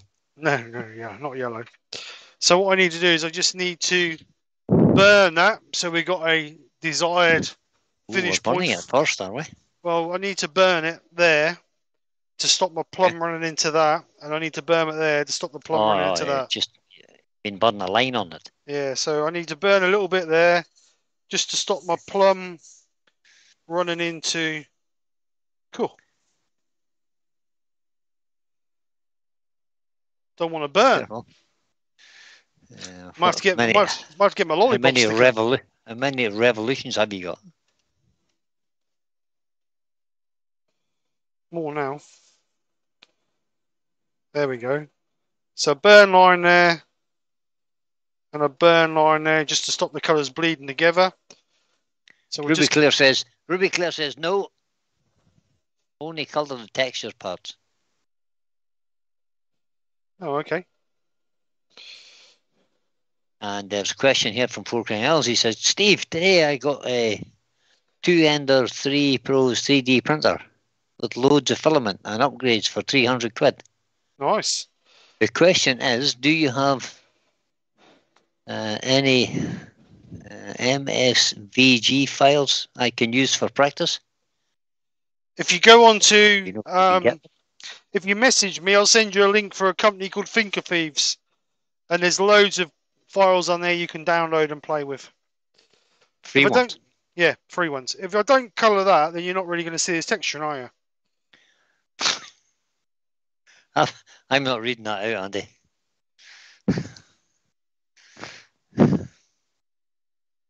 But it uh, it relates to to underwear and plums, so I'm not reading it out. Um, I think I'm going to do like I said. I'm going to do that plum, that plum. Because if I don't colour it, you ain't going to um, you See ain't going to see, see the texture. So let me get rid of some of this first.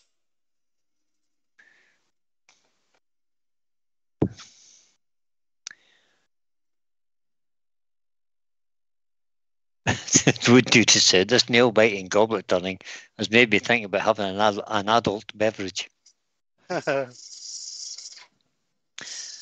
Uh, it goes SVG files, I think is what he's looking for. SVG files. STL files. sense to you? STL files would be better. STL. Yeah, STL files would be better. But like I say, message me and then I will send you a link for you Thingiverse, and then you can um, you can go on there and there's loads of test pieces on there you can download to calibrate your machine. Because the biggest thing with 3D printing is is getting your machine calibrated and get the filament feed correct and this that and the other. If you don't get none of that correct, then you'll end up with uh, rubbish prints. So, so Rob says, okay, I'm sensing something wrong with this live stream. I wonder what he's talking about there. I don't know. Perhaps he's got on And, pause. And, and Frederick Day says, uh, could you use a felt tip pen on the texturing? Might be easier. You could, I'm sure. Yeah, we could do. But we don't want easy, do we? Right, so let's bring the intrinsics colours over. So I'm Ooh, using Hampshire Sheen intrinsics. intrinsics. Uh, I should get some gloves on because if not, my hands will be blue, plum. Okay, Andy says there are lots of good free STL files available. Uh, and great YouTube channels too. So do some research. Yep. Use the search bar. So what we're looking for, plum. There's oh, that's empty. Oh no, we can't do it. Oh, Right. it's not. I can't do plum. Oh dear. Let's fill it up. Uh, There, there are a whole lot of inappropriate jokes going on here about plums. So I'm not. I'm, I'm just not reading them. You can read them yourself. I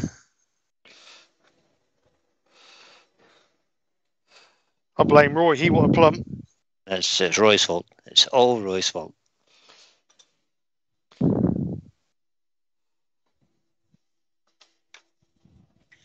And Brent Breecroft says, looking good, Steve. Got to run the Legion's calling.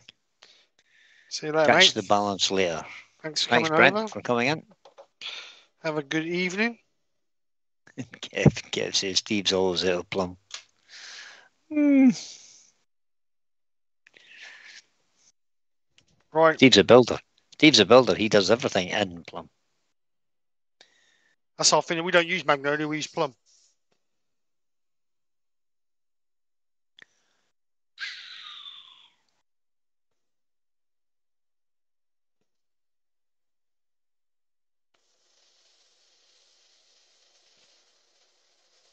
I actually don't like doing that. Spraying with the, the lathe Why? Don't know. I just don't like it. Don't ever seem to get the right coverage. As Susie Swoodtunner says, could you do the top and bottom in red? Oh, too late. Instead of plum Roy and the middle in black. And she wants some. She wanted the middle and black, so red at the top, red at the bottom, black in the middle. Oh, too late. Too late, Mr. Susie. Sorry. Ah, she was a bit worried that you actually didn't have plum.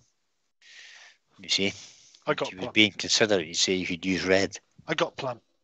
Yeah, we know. You were just bluffing, trying to upset Barry. Roy. Oh, sorry, Roy. A new heat gun that. Woo! Yeah, Kevin inches. We've all seen Brian spraying. Yeah, I know. I have my own is the word. It's, uh, no, I have my own technique, Kev. So that's all I'm saying. I have my own technique.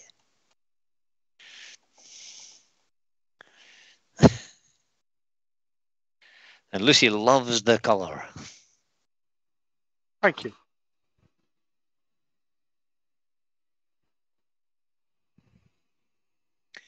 The plum is quite rich, I have to say. Even richer than that once you get a bit of sand and sealer on it. Makes it pop out a bit, for sure. It's nine thirty, Steve.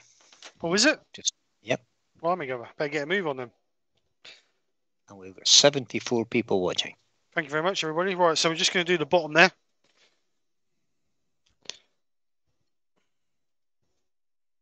So again, just light blasting it in.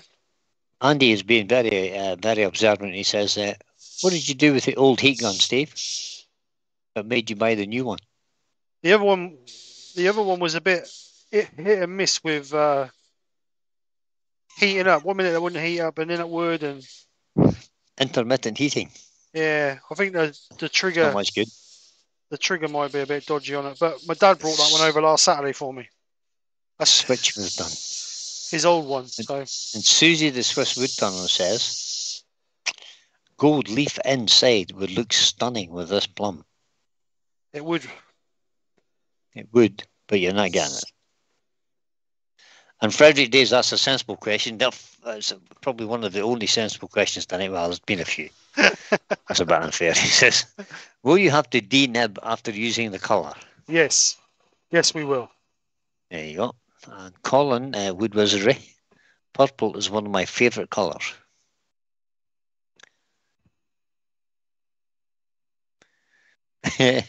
Pete from Twister Tree says, heating bowls on the fireplace is not a good technique, Brian. Uh, He's referring to the bowl that Michelle threw in my fire, threw one of my bowls in the fire. Well, she didn't really, I did. It was a little practice piece that was uh, destined for the fire pit. So it went in the fire this evening. And I got told off because extreme pyrography is apparently Pete's. Um, uh, he has the copyright on extreme pyrography. So I got a copyright strike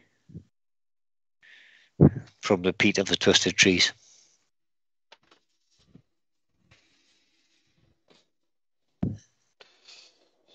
Right. So I just want a little bit more ruby on that. Not ruby.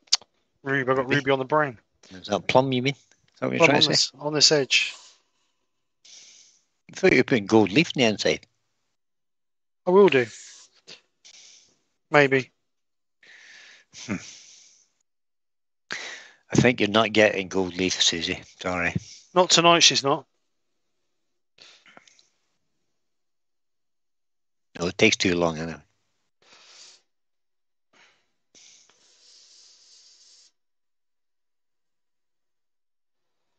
just bring that ruby just down that just a little tiny bit. So what colour are we doing these in? I know. What, what did you decide? I was going to do that black, Black. but I don't know if they do that. That look wrong, ruby red, or would that be? That look wrong? It's going to have to be a fairly dark colour anyway, now that you've covered it half in purple. Well, what does it look like? It's feathering in. That's what I was aiming for. Oh, here we go. Uh, Rob from Klingspor says, with the top and the bottom dark violet, the middle looks like uh, looks like to be glowing. Looks like it's what? Glowing. Glowing. Yeah, it does actually. Looks like there's a light in it. It's very bright. Well, it does on it does on the uh, On the live. on the Zoom channel, but on on when I'm looking at it on face YouTube, it's not as quite as bright. Let's just put a little bit of ruby on there and see what happens. Oh, Susie the Swiss Bouton says copper. And Ben says, wait, what happened to the spiral idea? You fell asleep, Ben. That's what happened to the spiral idea. it, we tried it and it was uh, the wood was too soft, basically. Frederick Day said a gold stem might look good. And Andy says red and gold. Gold is a hard colour to. Because you got to put black down first, don't you? To get a good Um, gold. To get a good gold. But I can put Well, a black down. I can put black on it. That's not a problem. You can't, if you put gold over light wood, it doesn't really. It comes gold, but not a gold, a deep gold. Yeah, you need to put a dark color under it first. To, know. you need to undercoat it with something. yeah. So what I'll do is I'll just put a bit of black under it. Susie said gold stem, but they've, they've painted it red now, so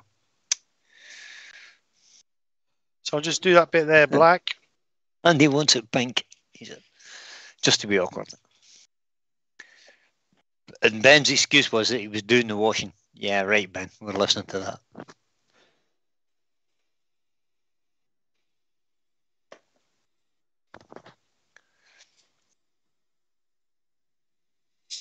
And black. and I'll put a bit of gold over it. Okay. But I was gonna gold. I was gonna gold embellish it because it's got texture in it, so the gold should pop through it. That's what I was gonna do. Okay. Uh, we'll see. Right, so that's the bit of gold, black, even. And Pete, Peter the Twister Tree says gold leaf looks better over the red base. Over a red base. I've not done a lot How, do, how, how does how does that work, Pete? Well, you put red down first, and you put gold over the top of it. You, you can't see through the gold leaf.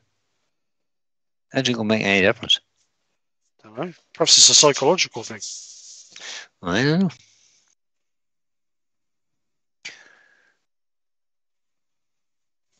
Simon says gold in the texturing, so maybe a bit of gold embellishing wax in the texturing. That's what I was going to do. I was going to put some gold embellishing wax over it. Okay. Just clean this gun out quickly. One of my dogs is padding up and down the hallway.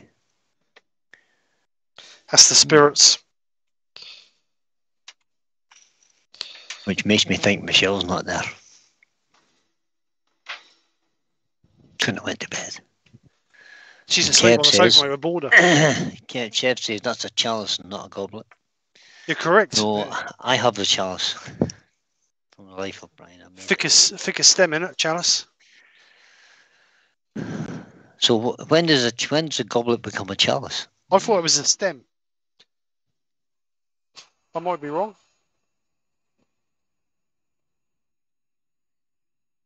Pete says, I don't know, Brian, but I downloaded it once and it works. Magic, I suspect. Very good, Pete. I love it.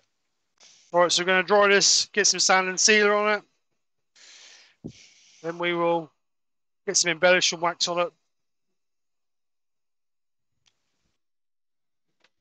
Oh, I'll chuck that on the floor.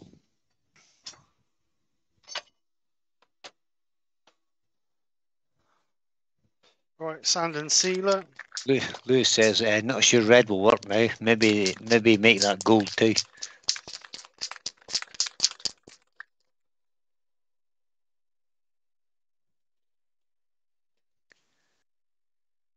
Top bowl is straight and not curved. Is that what makes it a chalice? Oh, okay. There you go. Ruby has just answered the question there. She said, Pete, uh, red was always used under gold leaf for calligraphy. Ah, Hey, you learn something every day. you do indeed. Every day's a school day, boys and girls. So Fly, uh, Simon says there's a wide bowl on a chalice.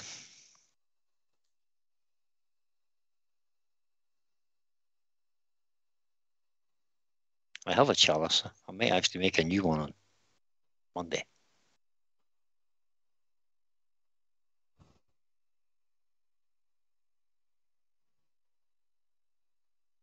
Cup of Christ. That's a, is that a chalice or is that a goblet? Um, I suspect that's a goblet. I don't think it's wide enough to be a chalice. And Kevin 9K says, yep, for me a chalice has a, has a straight bowl. So kind of straight sides and turned in. I don't know. Well, that is fairly straight, yeah. Hmm.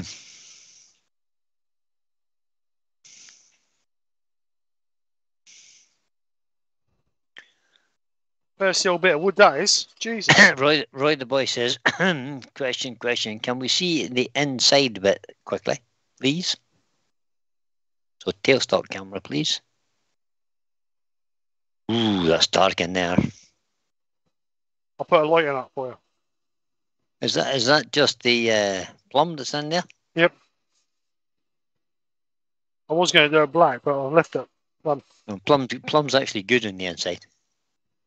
I use that a lot in the inside of stuff, in vases and stuff. And Lewis says, you know, a man is confident in his airbrushing when he seals it before looking at the coverage. I got five, Lewis. Oh, Kev says it should be a chalice for Easter and not Christmas. Okay. These are the little traditions that I like to kind of fudge a little bit. A chalice is for sharing, so wide round so uh, you can drink from opposite sides. Also have a thicker stem due to larger quantities of alcohol. Uh, people have often people have often fallen down when holding them. Hmm. John Smith says you could always call it a goblet. Gobblers. Right, so I'm going to get some shavings now, and I'm just going to. No, I'm not, because if I do that, I'm going to get dust all in the grain and in the texture. So I'll use a uh, Scotch Brite just to denib it.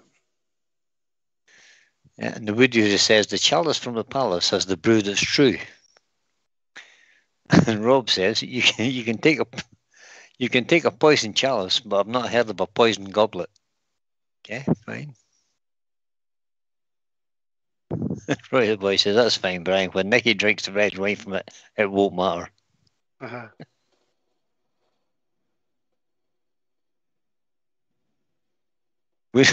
Andy says, "How's this for luck? Shed is up. Got material to line and insulate it.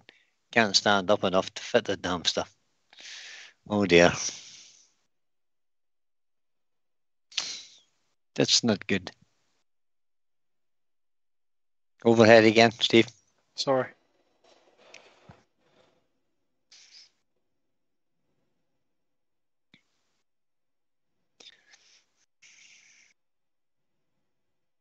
So I'm just burnishing that sand and sealer to give me a bit of a, as you can see, you can just see a little bit of a sheen coming on there.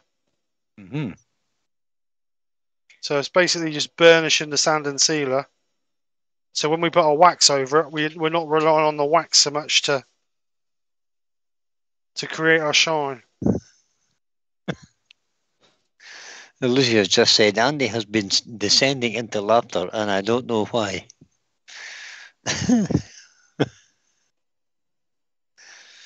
Hmm.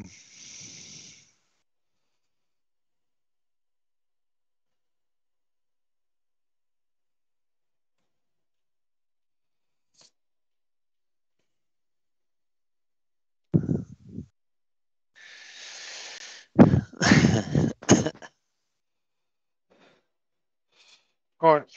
So we'll get some embellishing wax out. Frederick Day has a has a theory on the goblet chalice thing. He says, "I think a goblet is for normal everyday use, i.e., banquets, etc. That's everyday use, and a chalice is for ceremonial use, maybe. That's possible." Very possible. And, and, and Lewis says, "I take I take back what I said about the red now." Everybody's entitled to their opinions. Of course, that.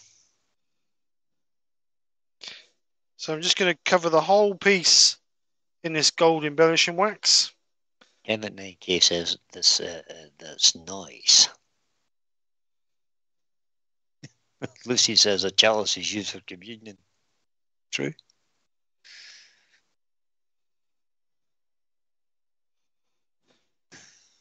Rob's Rob's chimed in. He says there are so many jokes to make about goblets. But some of them might not be appropriate, Rob. Huh.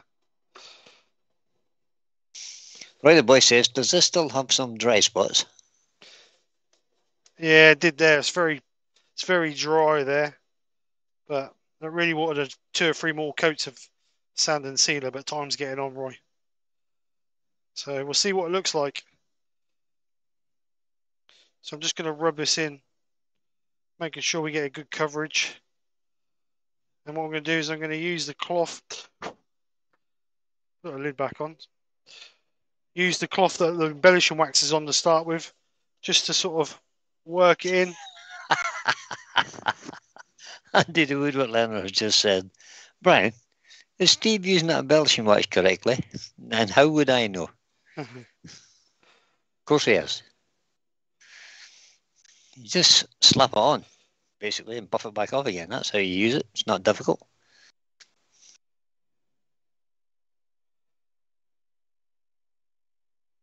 Says the embellishing wax master. yeah, exactly. Uh, Lewis has said, I shouldn't give opinions on colouring. I'm not the international colouring expert. No. Mike Waldt is the international colouring expert. Or uh, I should have said that Mike Waldt might be the English colouring expert. Or should have said Welsh. Oh, sure. Or the UK's um, colouring expert. Uh, you could be the international representative, for this. That'll be fine.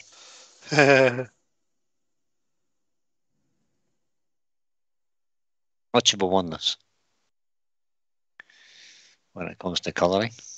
Except when you're using resin, of course, then you're quite good at it.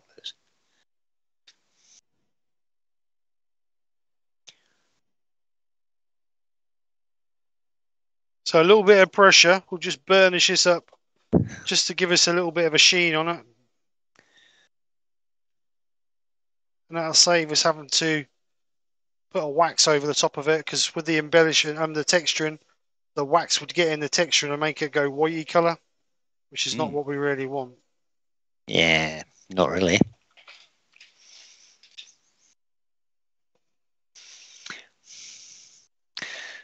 Lucy saying Andy is now sampling Norfolk accents for my benefit. Norfolk.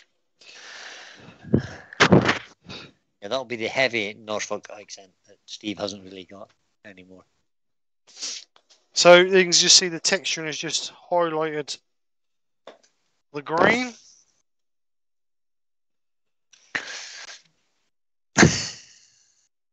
so what we've got to do now is just get it off of without dropping it. Easier said than done, he says. So just part it uh, off. Andy Rural Leonard says, Brian, when are you next using resin? No. I have no answer for that. Nobody sent me any resin. I thought you bought some. Actually, I bought I bought some resin. I actually bought eight ounces of resin to make a straw full of resin. That's reusable drinking straws. That's what he's making. Yeah.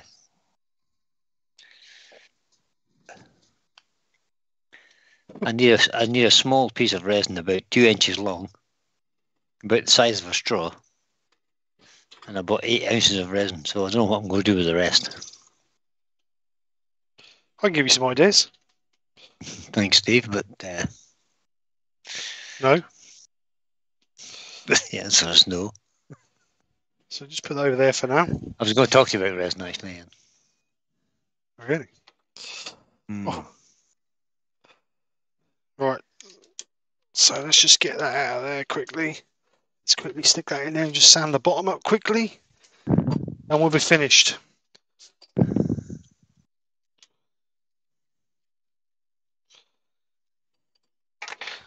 Just got a little nib on the bottom where um, obviously we've turned it off. Take my gloves off now. Yeah, YouTube, uh, Kev, that uh, comment, the last comment that Kev just put in uh, was held by YouTube, by the way. YouTube didn't like it. Well, I, am not going to say it. It, it says something on. I can't do it in an accent, but it says something on the. It says, "Are he do be boy Tarkin squirt Lucy?" I've no idea what the accent for that is, but no matter. Oh, Frederick Days asked a question. Uh, can you use spray lacquer? oh, can you spray lacquer off that type of embellishing wax? You mean over that type of embellishing wax? The answer is yes, you can.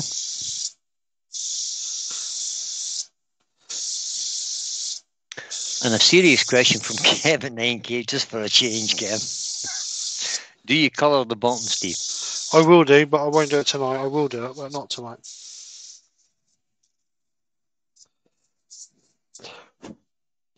Once I get all the marks out of it, I'll just uh, and what I'm doing is I'm just indent in the middle, so it actually sits on the edge of the rim and on the foot, not on the on the middle of it. So I'll just yes. got the grits now. Joe Senior says that's looking lovely, Steve.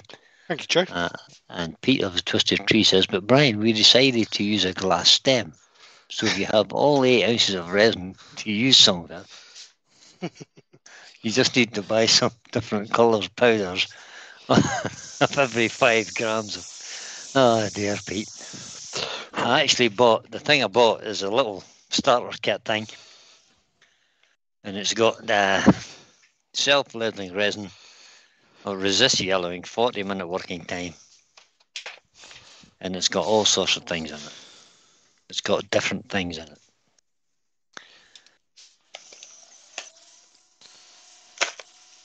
Oh look, there's mica powders and everything in here. Oh, and little glitter bombs and stuff as well. Oh my goodness me! Yeah. Uh, And what are these little sa- little sample bottles of something? Oh, I've just dropped them. so that'll do There's for little, that. Little, little bottles, little mixing cups, and little uh, bottles of epoxy resin colorant. Red, green, blue, yellow, Those are colours. black. You can you go. actually use. Um, you can actually use. Is it epoxy resin? Uh, is it? Oh, I don't know. Is it epoxy? If it's resin? epoxy yeah, resin, epoxy, you, yeah. can, you can use Yep, acry- you can you can use acrylic paints in it to colour it. You can use uh, Hampshire sheen intrinsic colours to colour it. I could use uh, Bulgers uh, acrylic uh, Yep. dyes that I've got. So there you go. There's me goblet. Wonderful, Steve. So plum just for you, Roy. Um, bit of ruby red, bit of black, gold embellishing wax over the top of it. A little bit of texture around the top, a little bit of texture around the middle there, just to give it some stipples. Rob from Klingspor has just put in a comment. He says, Why is it?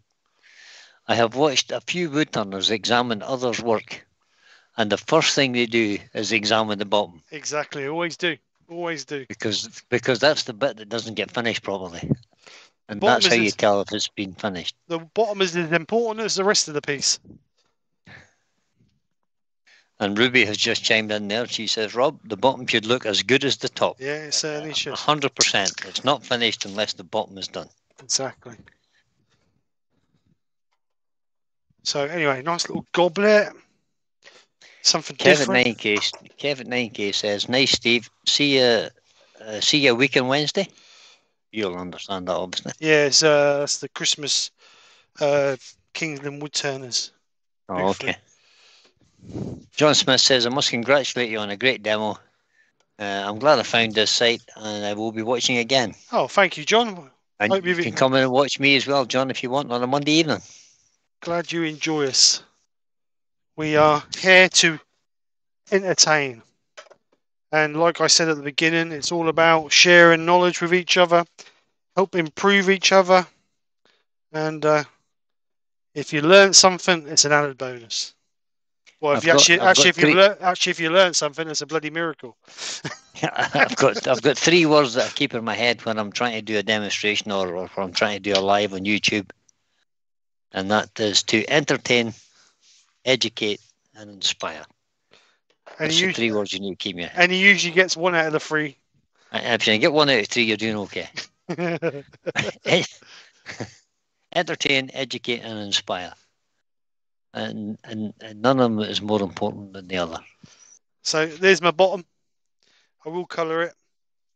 I'll colour it um, plum to match the top. But Uh, ben says uh, is mentioned as Nicky show is on on Sunday. Oh yes, Correct. Nikki will be back.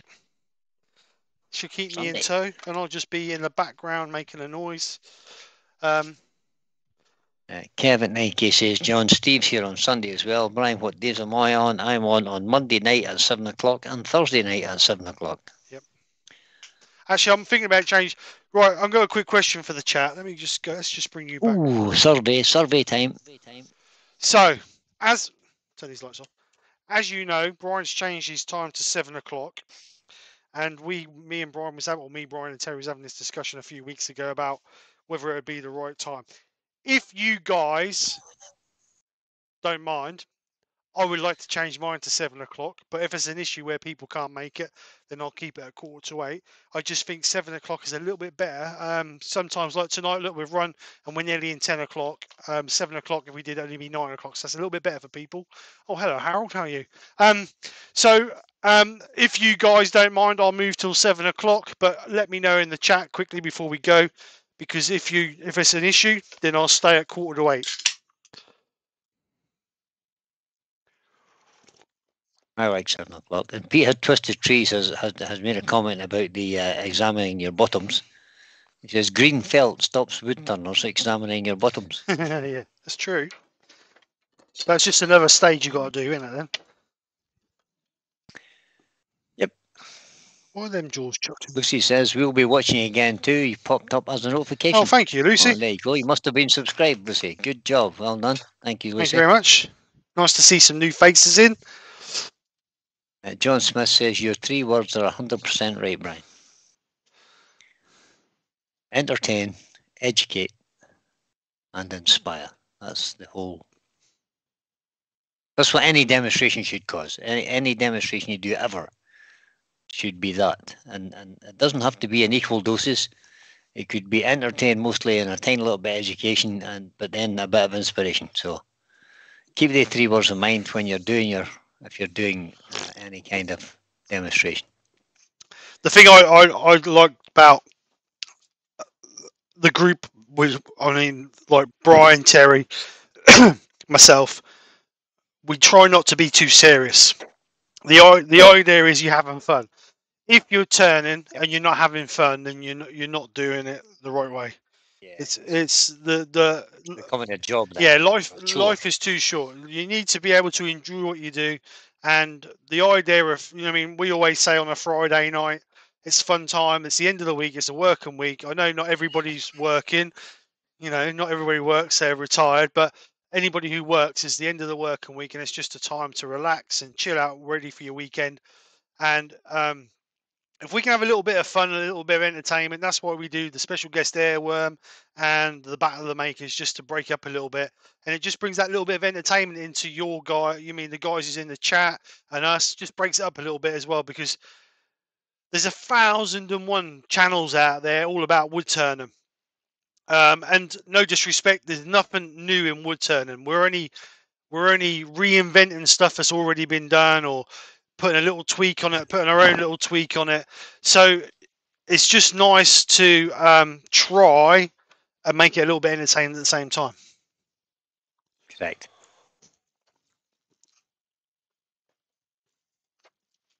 So everybody's saying seven o'clock is great then. Yep, seven o'clock seems to be a good time for everybody. Now, some people don't care because they're seven hours behind. Right, okay. Ron, for example, he's, he's seven hours behind. He doesn't care. And somebody else said it's uh, as long as it's seven p.m. and not a.m. Simon says no issue with seven.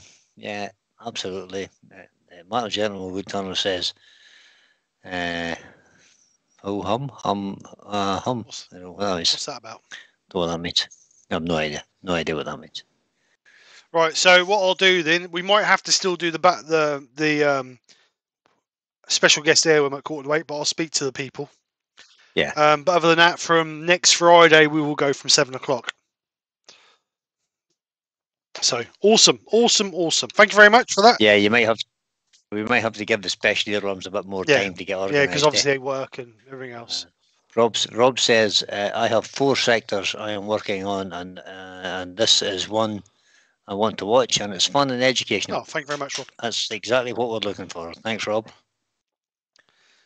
Uh, Woodward's Rubicon says, and the hashtag week is a great challenge too. It's, It's not a challenge. no, it's, it's just getting you in your workshop an and having you go. It's an it's an inspirational thing to try and inspire you to get out and do something. That's all. So, uh, Give you an idea rather than challenge. so I'm going to give you a sneak peek of something that Oh, that, are you? that um, Pete from Twisted Trees came up with the idea, but I've put it into practical use, hopefully, and um, we're going to be testing them, and hopefully there'll be something added to the buddy range. So this Ooh. is a tool post holder. Hmm. So we I just drilled holes in my bench to hold the tool post. animal. What can I say? So these are going to be getting tested over the next few weeks. So hopefully they will they will they will be joining the buddy range. Unfortunately, they're just not big enough to put anything buddy range on them though. But never mind. I have to say that Donna, the love angel, has just joined us, Good evening, Donna. and she says, uh, she says, I meant to have a nap for an hour, but it lasted for six. Well, you must have needed it. That's all I can Yeah. say, Donna. So right, don't forget, guys. Um, I'll be back Sunday. Wayne's on tomorrow night. Terry's on lunchtime Monday. Brian's on Monday, Monday. evening. Brian's on again. Thursday evening. Uh, Wayne's on Yep. Wednesday night. Tuesday, Mark's doing Tuesday night now, isn't he? Mark, I don't know if Mark's doing Tuesday or not. I think he is. Tuesday nights is Mark. So Mark's doing Tuesday night, um, and we're back Friday. So full week again. Um, also, don't forget, ten percent off all the Buddy range on. Jo- Can you just chuck in my Made Me store? Can you find it, or do you want me to find it? I'll find it actually. Oh, Steve, you find it, Steve. You'll know where to look for it. Um, so I'm gonna put the link in for my Made Me. Um, there's ten percent off of all the Buddy range at the moment, and that will be running Cool. until the 31st of December. To create to oh, hang on, don't know if I can. So Ron says he's heading to his workshop. Um, whilst you're looking for that, he says uh, he's going to see his lathe and still turn. It's minus 21 degrees C. Wow. Well, good luck, Ron. Right, That's freezing. I can't find it on there. Let me see if I can find it on. Uh, ben says, uh, "Why have you abused your shelves with those Christmas decorations, Brian? Because it's Christmas. Brian loves Christmas. Oh, I love Christmas. I'll have to show you this. This is my my Highland personally. Little Highland Santa Claus with his bagpipes.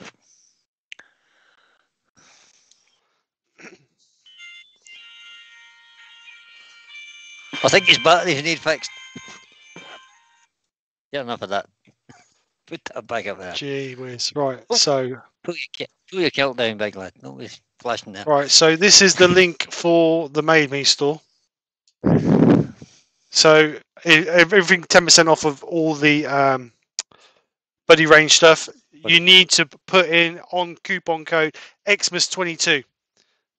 So um, I hate that word. Xmas. Xmas. Well, it's a bit it's a bit better than Christmas twenty twenty two, and it was a little bit shorter. I know, but I just hate it. But anyway, uh, Oh, Grandpa Jim. I miss, I miss Grandpa Jim. Earlier. Grandpa Hi, Jim. Grandpa Hello, Jim. Deborah, Sorry, I missed you earlier, mate. He says always a very good time with you oh, guys. thank you very Thanks, much. Jim. Thank you very much. Right, Appreciate we're going to go. Thank you very much for coming and joining us. Thank you, Brian. Thank you, Harold. It's been entertaining as always. Um, we should be back to a full crew on next Friday. So Should be. please come over and join us. If we don't see you before, we will see you next Friday. So have a great weekend. Have a great week. Take care. Get ready for Christmas. Spend time with your loved ones, all the other stuff. But we're going to go. So, mate, thanks for coming over, guys. Good night. Bye, Bye. everybody. Bye, everybody. That's all, folks.